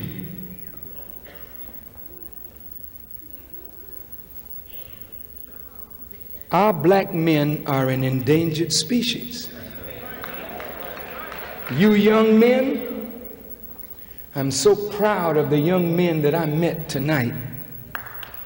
These young men, the future is safe with these young men. But, brothers, you're in danger because the government is thinking we got to deal wisely with them lest they multiply. 25% of our young men are in jail, on parole, or under court supervision. We have a very high infant mortality rate that says that we are subject to lose or likely to lose another whole generation. Listen, they program us for unemployment and then put drugs in the community. After they show you the lifestyle of the rich and the famous, they know that you're not going to work at Wendy's for 335 an hour. So now what are you doing? If there's no job for you, what you going to do? He's taking your woman and bringing her downtown Chicago, downtown Peoria, she got the job, brother. What are you doing? You got an education just like her. But when they hire her, they say, We've satisfied our minority requirement. But they won't hire that black man. So you feel inferior now. Look at the problems in the home. The black man is home watching the soaps, the wife is out working. He doesn't feel like a man. So the least little thing that she says to him out of place, he's in her mouth. Great stress. More killing in the family. Look at us killing ourselves. Yes, it's bad that white folk kill us, but it's worse that we are slaughtering ourselves. Can you see it? You're programmed right now for self-destruction. But the biggest hype is being worked by the government. Did you see President Bush lure a black brother in front of the White House to sell some crack? And then he gets on television and holds up a bag of cocaine and said right in front of the White House. They're selling drugs. They who? Young black man. What signal is that sending to white America? That's saying to white America, good God, these niggas are despoiling our capital. No, no, no, no, no. I'm not trying to be smart. The white minds are being set up right now for our destruction.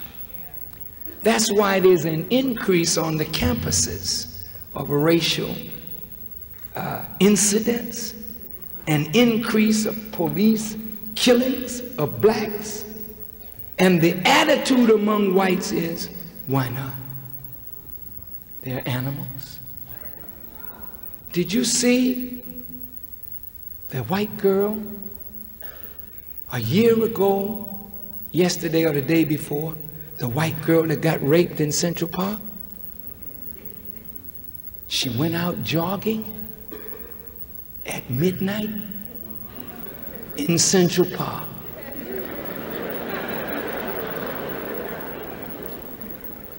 And about eight black people, they say, jumped that woman, beat her, and raped her repeatedly. And the next day, all the liberals were calling for the death penalty. Mr. Trump, a liberal, took out ads, full page ads, calling for the death penalty. The police went crazy went in the community, snatched eight young men, brought them to jail, put their names in the paper, went to their school, and guess what? They tested the semen in the woman against the semen of the eight young men. And according to the DNA, it didn't match up. Now listen, listen, listen. But the sad thing is, they didn't come back in the paper and say, got the wrong eight. Do you know the only semen that matched in that woman was the semen of her boyfriend? But the papers didn't come back, not the Peoria newspaper Not the Bloomington Normal newspaper. Very abnormal the way they treat it. Not the Chicago newspapers. But this went all over the world. Do you remember Charles Stuart in Boston? You remember how the press played that up? The white man who married this beautiful white girl, it was Camelot again. That's the way they, that's the way they did it. I'm not making anything up. She got pregnant. And on the way from a birthing class, guess what? A black person somehow got in the back of their automobile and shot the woman in the head. Then got out and got around the front and shot him too. And all of us heard it on the news. The poor man, the fella at 911 asking him, Can you tell us where you are? Where are you? Uh, I, I don't know where I am. Oh God, oh God, oh God. I hear a gurgling sound. I think she's dying. I think she's dying. Hold on, hang on now. Where are you? sympathy rising all over the country. Black and white saying, oh no, oh no, this is terrible. Who did this to you? It was a black man with a gruff voice.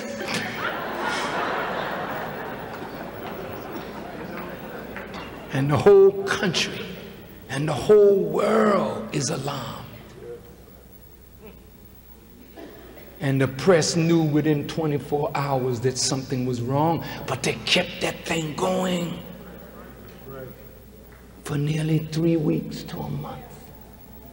And then when the truth was coming out, the man allegedly killed himself because he had planned for a year to kill his wife. Now, brothers and sisters, I told you earlier that when they got ready to bomb Gaddafi, he was a terrorist. When they got ready to bomb Noriega, he was a dope trafficker. They're getting ready for you. And so our young men are being painted as thugs, gangbangers, violent savages. Do you hear me? I know you think I'm just making this up. But brother, for nearly three years, they've had young gangbangers in Los Angeles and other places on the television. You don't see the gangbangers saying nothing. You just see them kneeling down in the street with their hands behind their back and the press saying, we're taking back the streets. Who's promoting the gang violence? You think we're just killing each other over colors? Where did these gangbangers get a Uzi? A, a, a, a automatic weapon made in Israel and an AK-47 made in China and a street sweeper, a shotgun that fires 12 rounds in nearly six seconds. Where did they get these kind of weapons? Somebody's giving it to them. And as long as they kill each other, it's all right. But the news every day, gang violence, gang violence. Washington, D.C., so many hundred dead, and you show bodies laying out in the streets. And this is creating in the mind of American people. The niggas are ruining our country. Isn't this something that can be done? And all the politicians are talking law and order. Look at it. Then the police are saying they don't have enough firepower. So the National Guard is moving in to certain cities now. Brothers and sisters, Pharaoh brought his army out against the children of Israel. And America is planning to do the same for you. And we don't have much time. They see Farrakhan as public enemy number one. And all this stuff that they're putting in the paper. Farrakhan this, Farrakhan that, Farrakhan this. So Farrakhan decided, I'd like to let the American people see me. So in one week's time, I was on several major television shows. And many whites have written me letters, some of them priests, thanking me for the way I handled the ignorance of their people.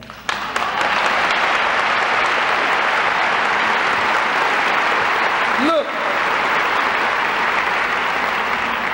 if you go back over the Donahue show,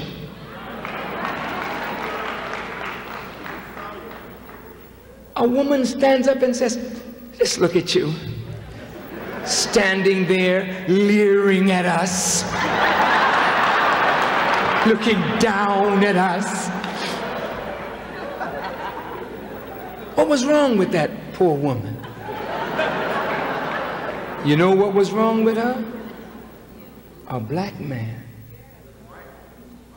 highly intelligent, not allowing their ignorance to get me in a shouting match with foolish people.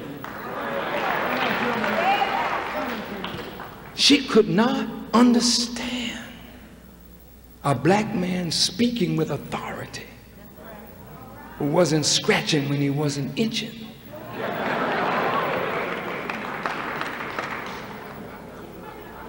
Another white woman says, Yes, these jobs.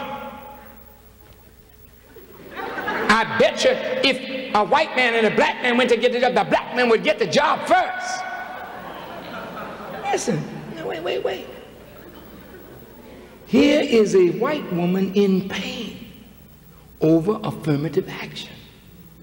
Affirmative action was a remedy given by the court to remedy and offset some of the evils that the country has done to black people. But white people can't take even a little pain to see you get any measure of justice. So this woman cries out, Mr. Donahue, he says, why do you keep saying if? Get to the bottom line. You know you don't agree. Why do you say if? Why are you trying to mollify us? I said, out of respect for the minds of your listeners. I wasn't talking down to them. See, he would like for me to be dogmatic and not intelligent. When you are dogmatic, you go to the bottom line. That doesn't allow people to travel with you. So, in the process of reasoning, you always set up an hypothesis. Why? You know the answer, but you're not it's not your answer that you're trying to get. You're trying to lead a mind to a conclusion.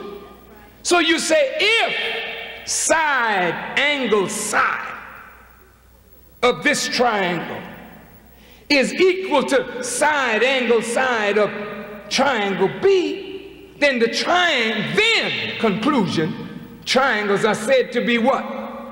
Congruent. What is that?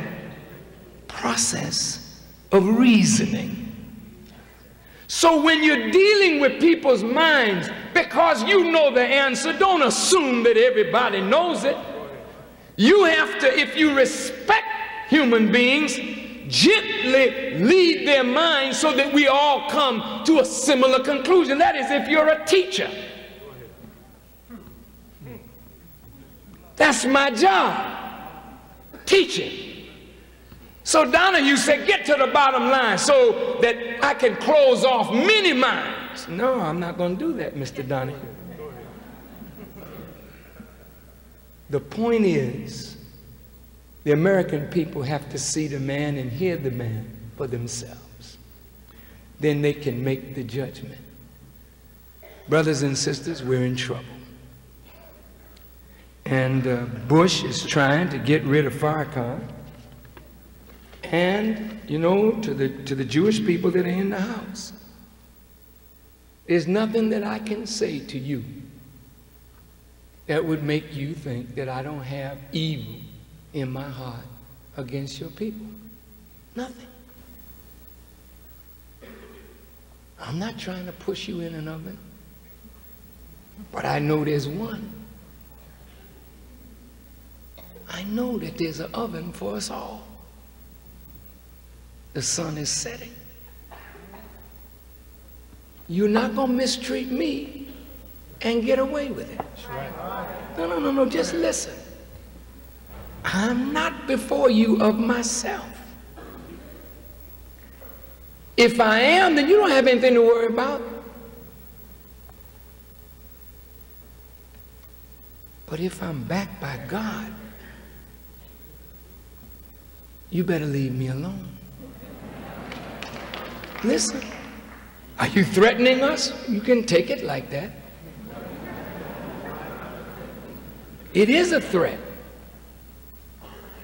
because death is hanging over your head too. That's right. And you may not like it, but I'm standing between you and death. And for you to call for my death and tell Jewish children that I'm another Hitler, that all I want to do is kill Jews. Ridiculous. You say that I'm scapegoating Jews, while in reality, Jewish leaders are scapegoating me to you, making the young Jews in every college campus that I go to turn out to oppose Louis Farrakhan. That's all right with me. But remember this now. Remember this. You have not a good record with the prophets. You don't have a good record with them. No, no, no, I'm not laughing. I think this is serious. I'm not a prophet. I'm not a prophet.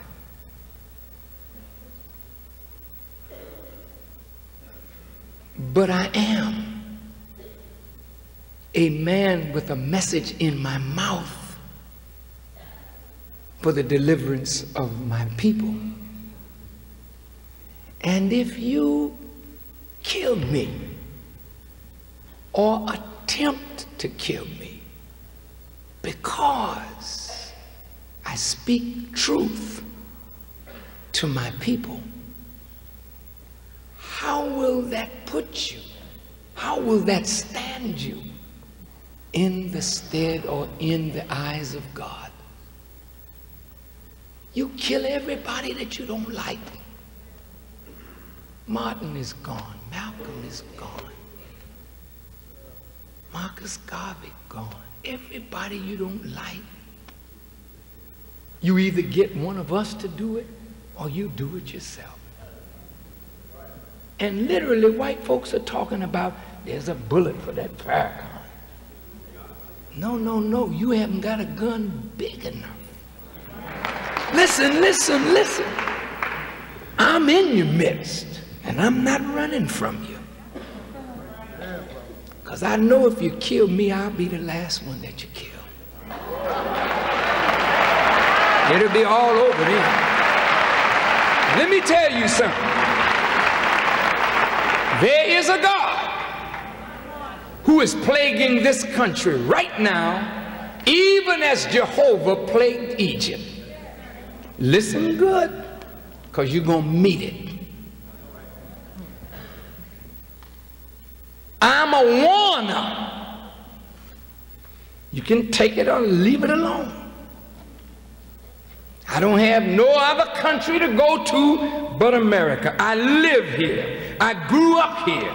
I would like to see America save herself. But if you think, if this government thinks it can get away with killing the people of God, you'll get everything that you put on us and then some.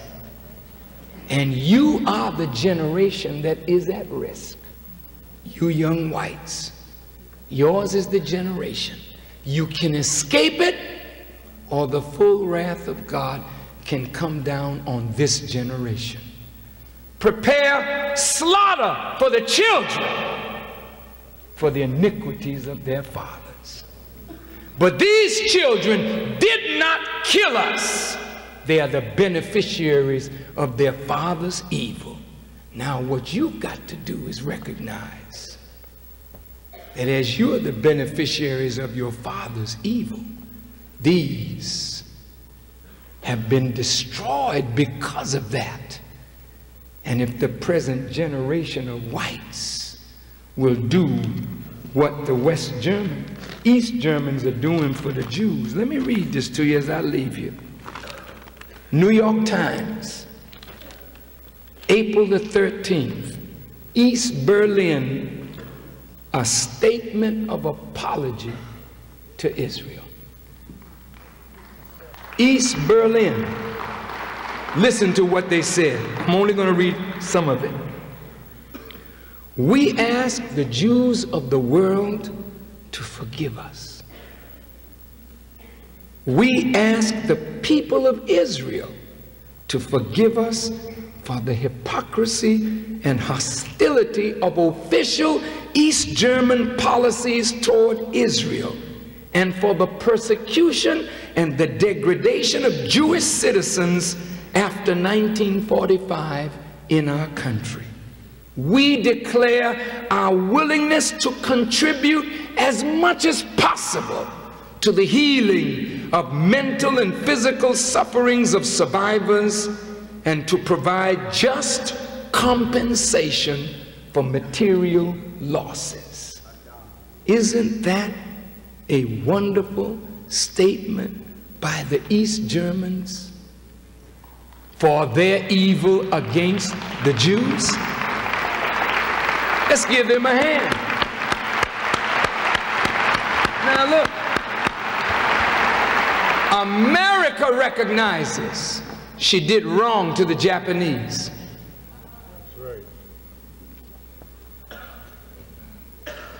She took Japanese Americans and put them in concentration camps and confiscated their property for four years. Come on. And the U.S. Congress has voted to do what? Pay what? Say it loud. Reparations. Reparation means do something to repair the damage. I close. Let me read this over and change the word Jews. I'm putting it in white folks' mouth. If America could have the courage to say what the Germans said, listen, we ask the blacks of the world to forgive us. How many of you got the courage to ask black people to forgive you for killing them wholesale in Africa, in the Isles of the Pacific? For killing the Native Americans and for bringing our fathers into slavery, into the black Holocaust. How many are willing to ask us to forgive them? Listen. And we ask especially the black people of America to forgive us for the hypocrisy. See, we want integration. Lie. This is all hypocrisy. No real meaning to it. We ask you to forgive us for the hypocrisy and the hostility of official United States government policies toward black people. Because it was government official policy to kill all our leaders. Did you know that? Government policy.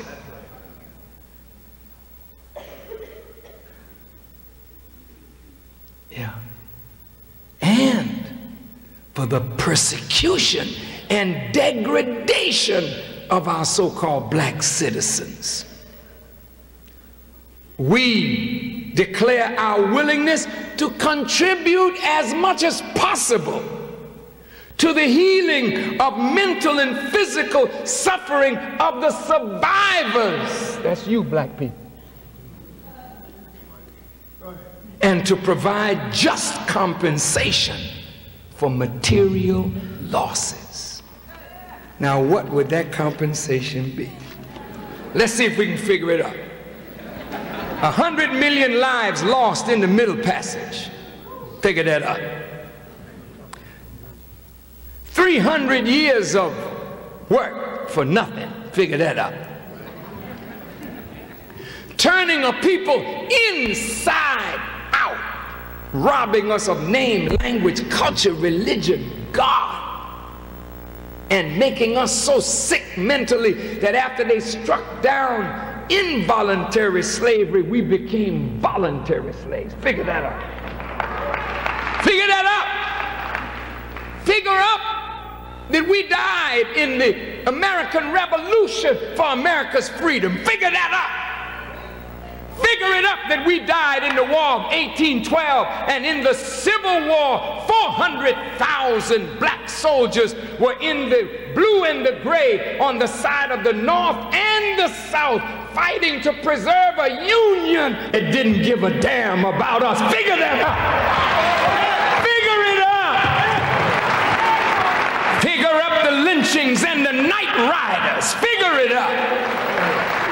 Figure up the land we got and the land that was taken from us. Figure it up. Figure up World War One. We died and they crushed Germany and they never gave us nothing. World War II, we died in Normandy, in Sicily, in Palermo, in North Africa. We died to beat Germany. We died in Guadalcanal, in the Philippines, in Okinawa. We died at Pearl Harbor. Figure it out. And after the war is over, you rebuilt Germany and you rebuilt Japan. And the black man is here in America, not living in a decent house without a job, his children destroyed. Figure it out.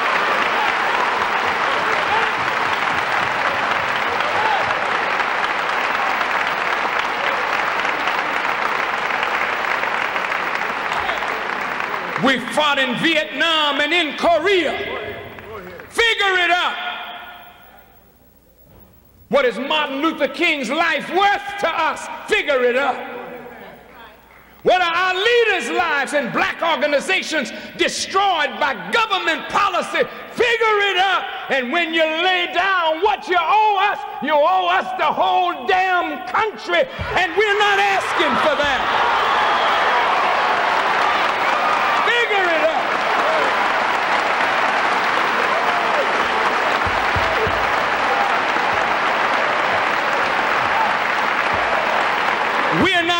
Asking for that. All we're asking is for justice. And that's the time. If you don't give us justice, you may lose it all.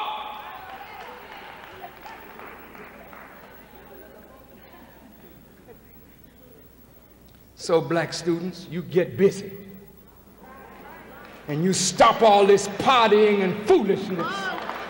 And you get your act together. As of tonight, you put down that reefer and you put down that crack and those pills and that drugs and get your head screwed on right. You cannot live today with a half high head. You got to be sober to see the tricks that's going down to rob you of your future, black man and woman.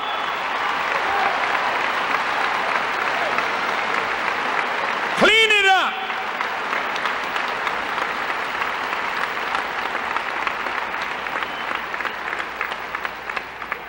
Don't come to Illinois State trying to make a white university relevant to black people.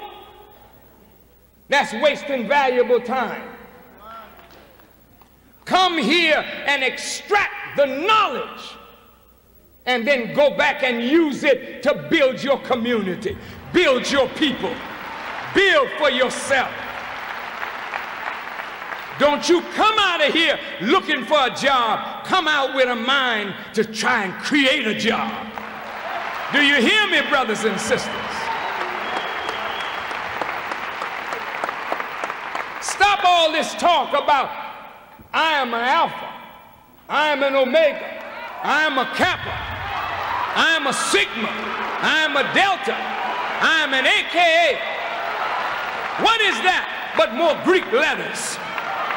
Jesus said, I am Alpha and Omega, the beginning and the ending, saith the Lord. Come together.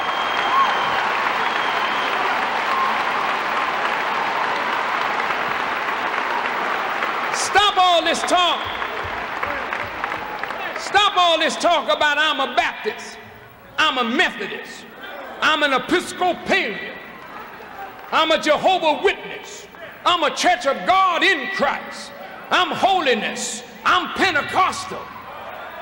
Stop that kind of talk. Jesus never spoke like that. Speak as he spoke. He was baptized, but he wasn't a Baptist. Talk to me. He never said he was a Methodist. He said, I'm the way, the truth, and the life. He never said I'm a Catholic. He said, I am the light of the world, meaning I'm universal. He never said, I'm a Jehovah's Witness, but it's a fact he was the witness of Jehovah. No question about it. He never said, I'm holy. He said, if the first fruit is holy, then the lump is also holy. He never said, I'm Pentecostal, but without Jesus appearing before the disciples, there wouldn't be any day of Pentecost. These are your denominations, these are your divisions. Prophet Muhammad never said he was Sunni, he gave us the Sunnah. He never said he was Shiite, but through his daughter Fatima, he had Hussein and Hassan. Huh? Come on. He never said he was Hanafi, Sufi. That's your stuff. Be what he was. He was a Muslim. He submitted his will to do the will of God. Be what Jesus was. Jesus never said, I'm a Christian. Not one time. He never called his disciples Christians. Did you know that? They were called Christians at Antioch by the enemies of Jesus. Jesus said, Not my will, but thy will be done. He submitted his will to do the will of God. Come on. So let us do that. Stop all this division and let's come together as a family and love each other and respect each other and work for the good of each other, uphold each other in right, huh? And above all, respect and protect and honor your women. Respect, protect, and honor your women. And to the white students, if you will sit down with these black students in an honest dialogue without hypocrisy, maybe tomorrow you might make better sense than tonight. Maybe after hearing what Farrakhan had to say, it didn't necessarily drive you further apart, you already apart. Maybe it gave you something, a basis upon which to start an honest dialogue. And through dialogue, maybe you might learn to respect each other. And as I said on the Donahue show, white students, think about it. You didn't come in a vacuum. You study biology and you learn Mendel's law. You know that dark skin is dominant and light skin is recessive. No, this ain't no black supremacy. Just that the truth is supreme. You know that dark eyes are dominant and light eyes are recessive. And you teach that you can get the recessive from the dominant. But you can't get the dominant from the recessive. So two white people can only produce white. You can never produce yellow. It's just not in your genetic makeup to do that. It's a biological, mathematical impossibility. But but the black man can produce from jet black people an albino with blonde hair and light eyes, showing you that in us is the whole human family of the earth and from the black man whom the Honorable Elijah Muhammad called the original people of the earth. That's why you're black. You're not black because you're cursed. You're black because you are the original life in the universe. Yes. Yes.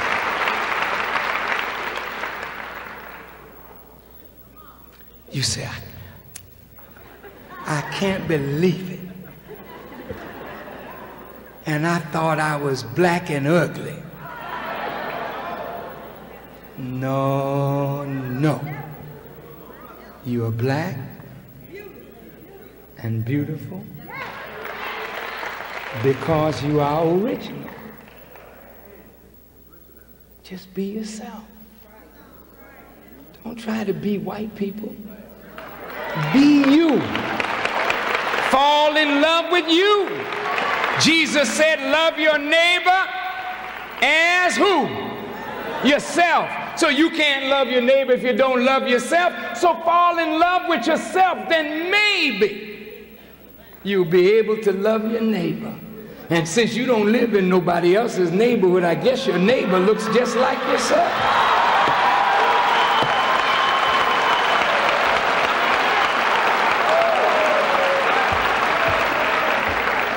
Well,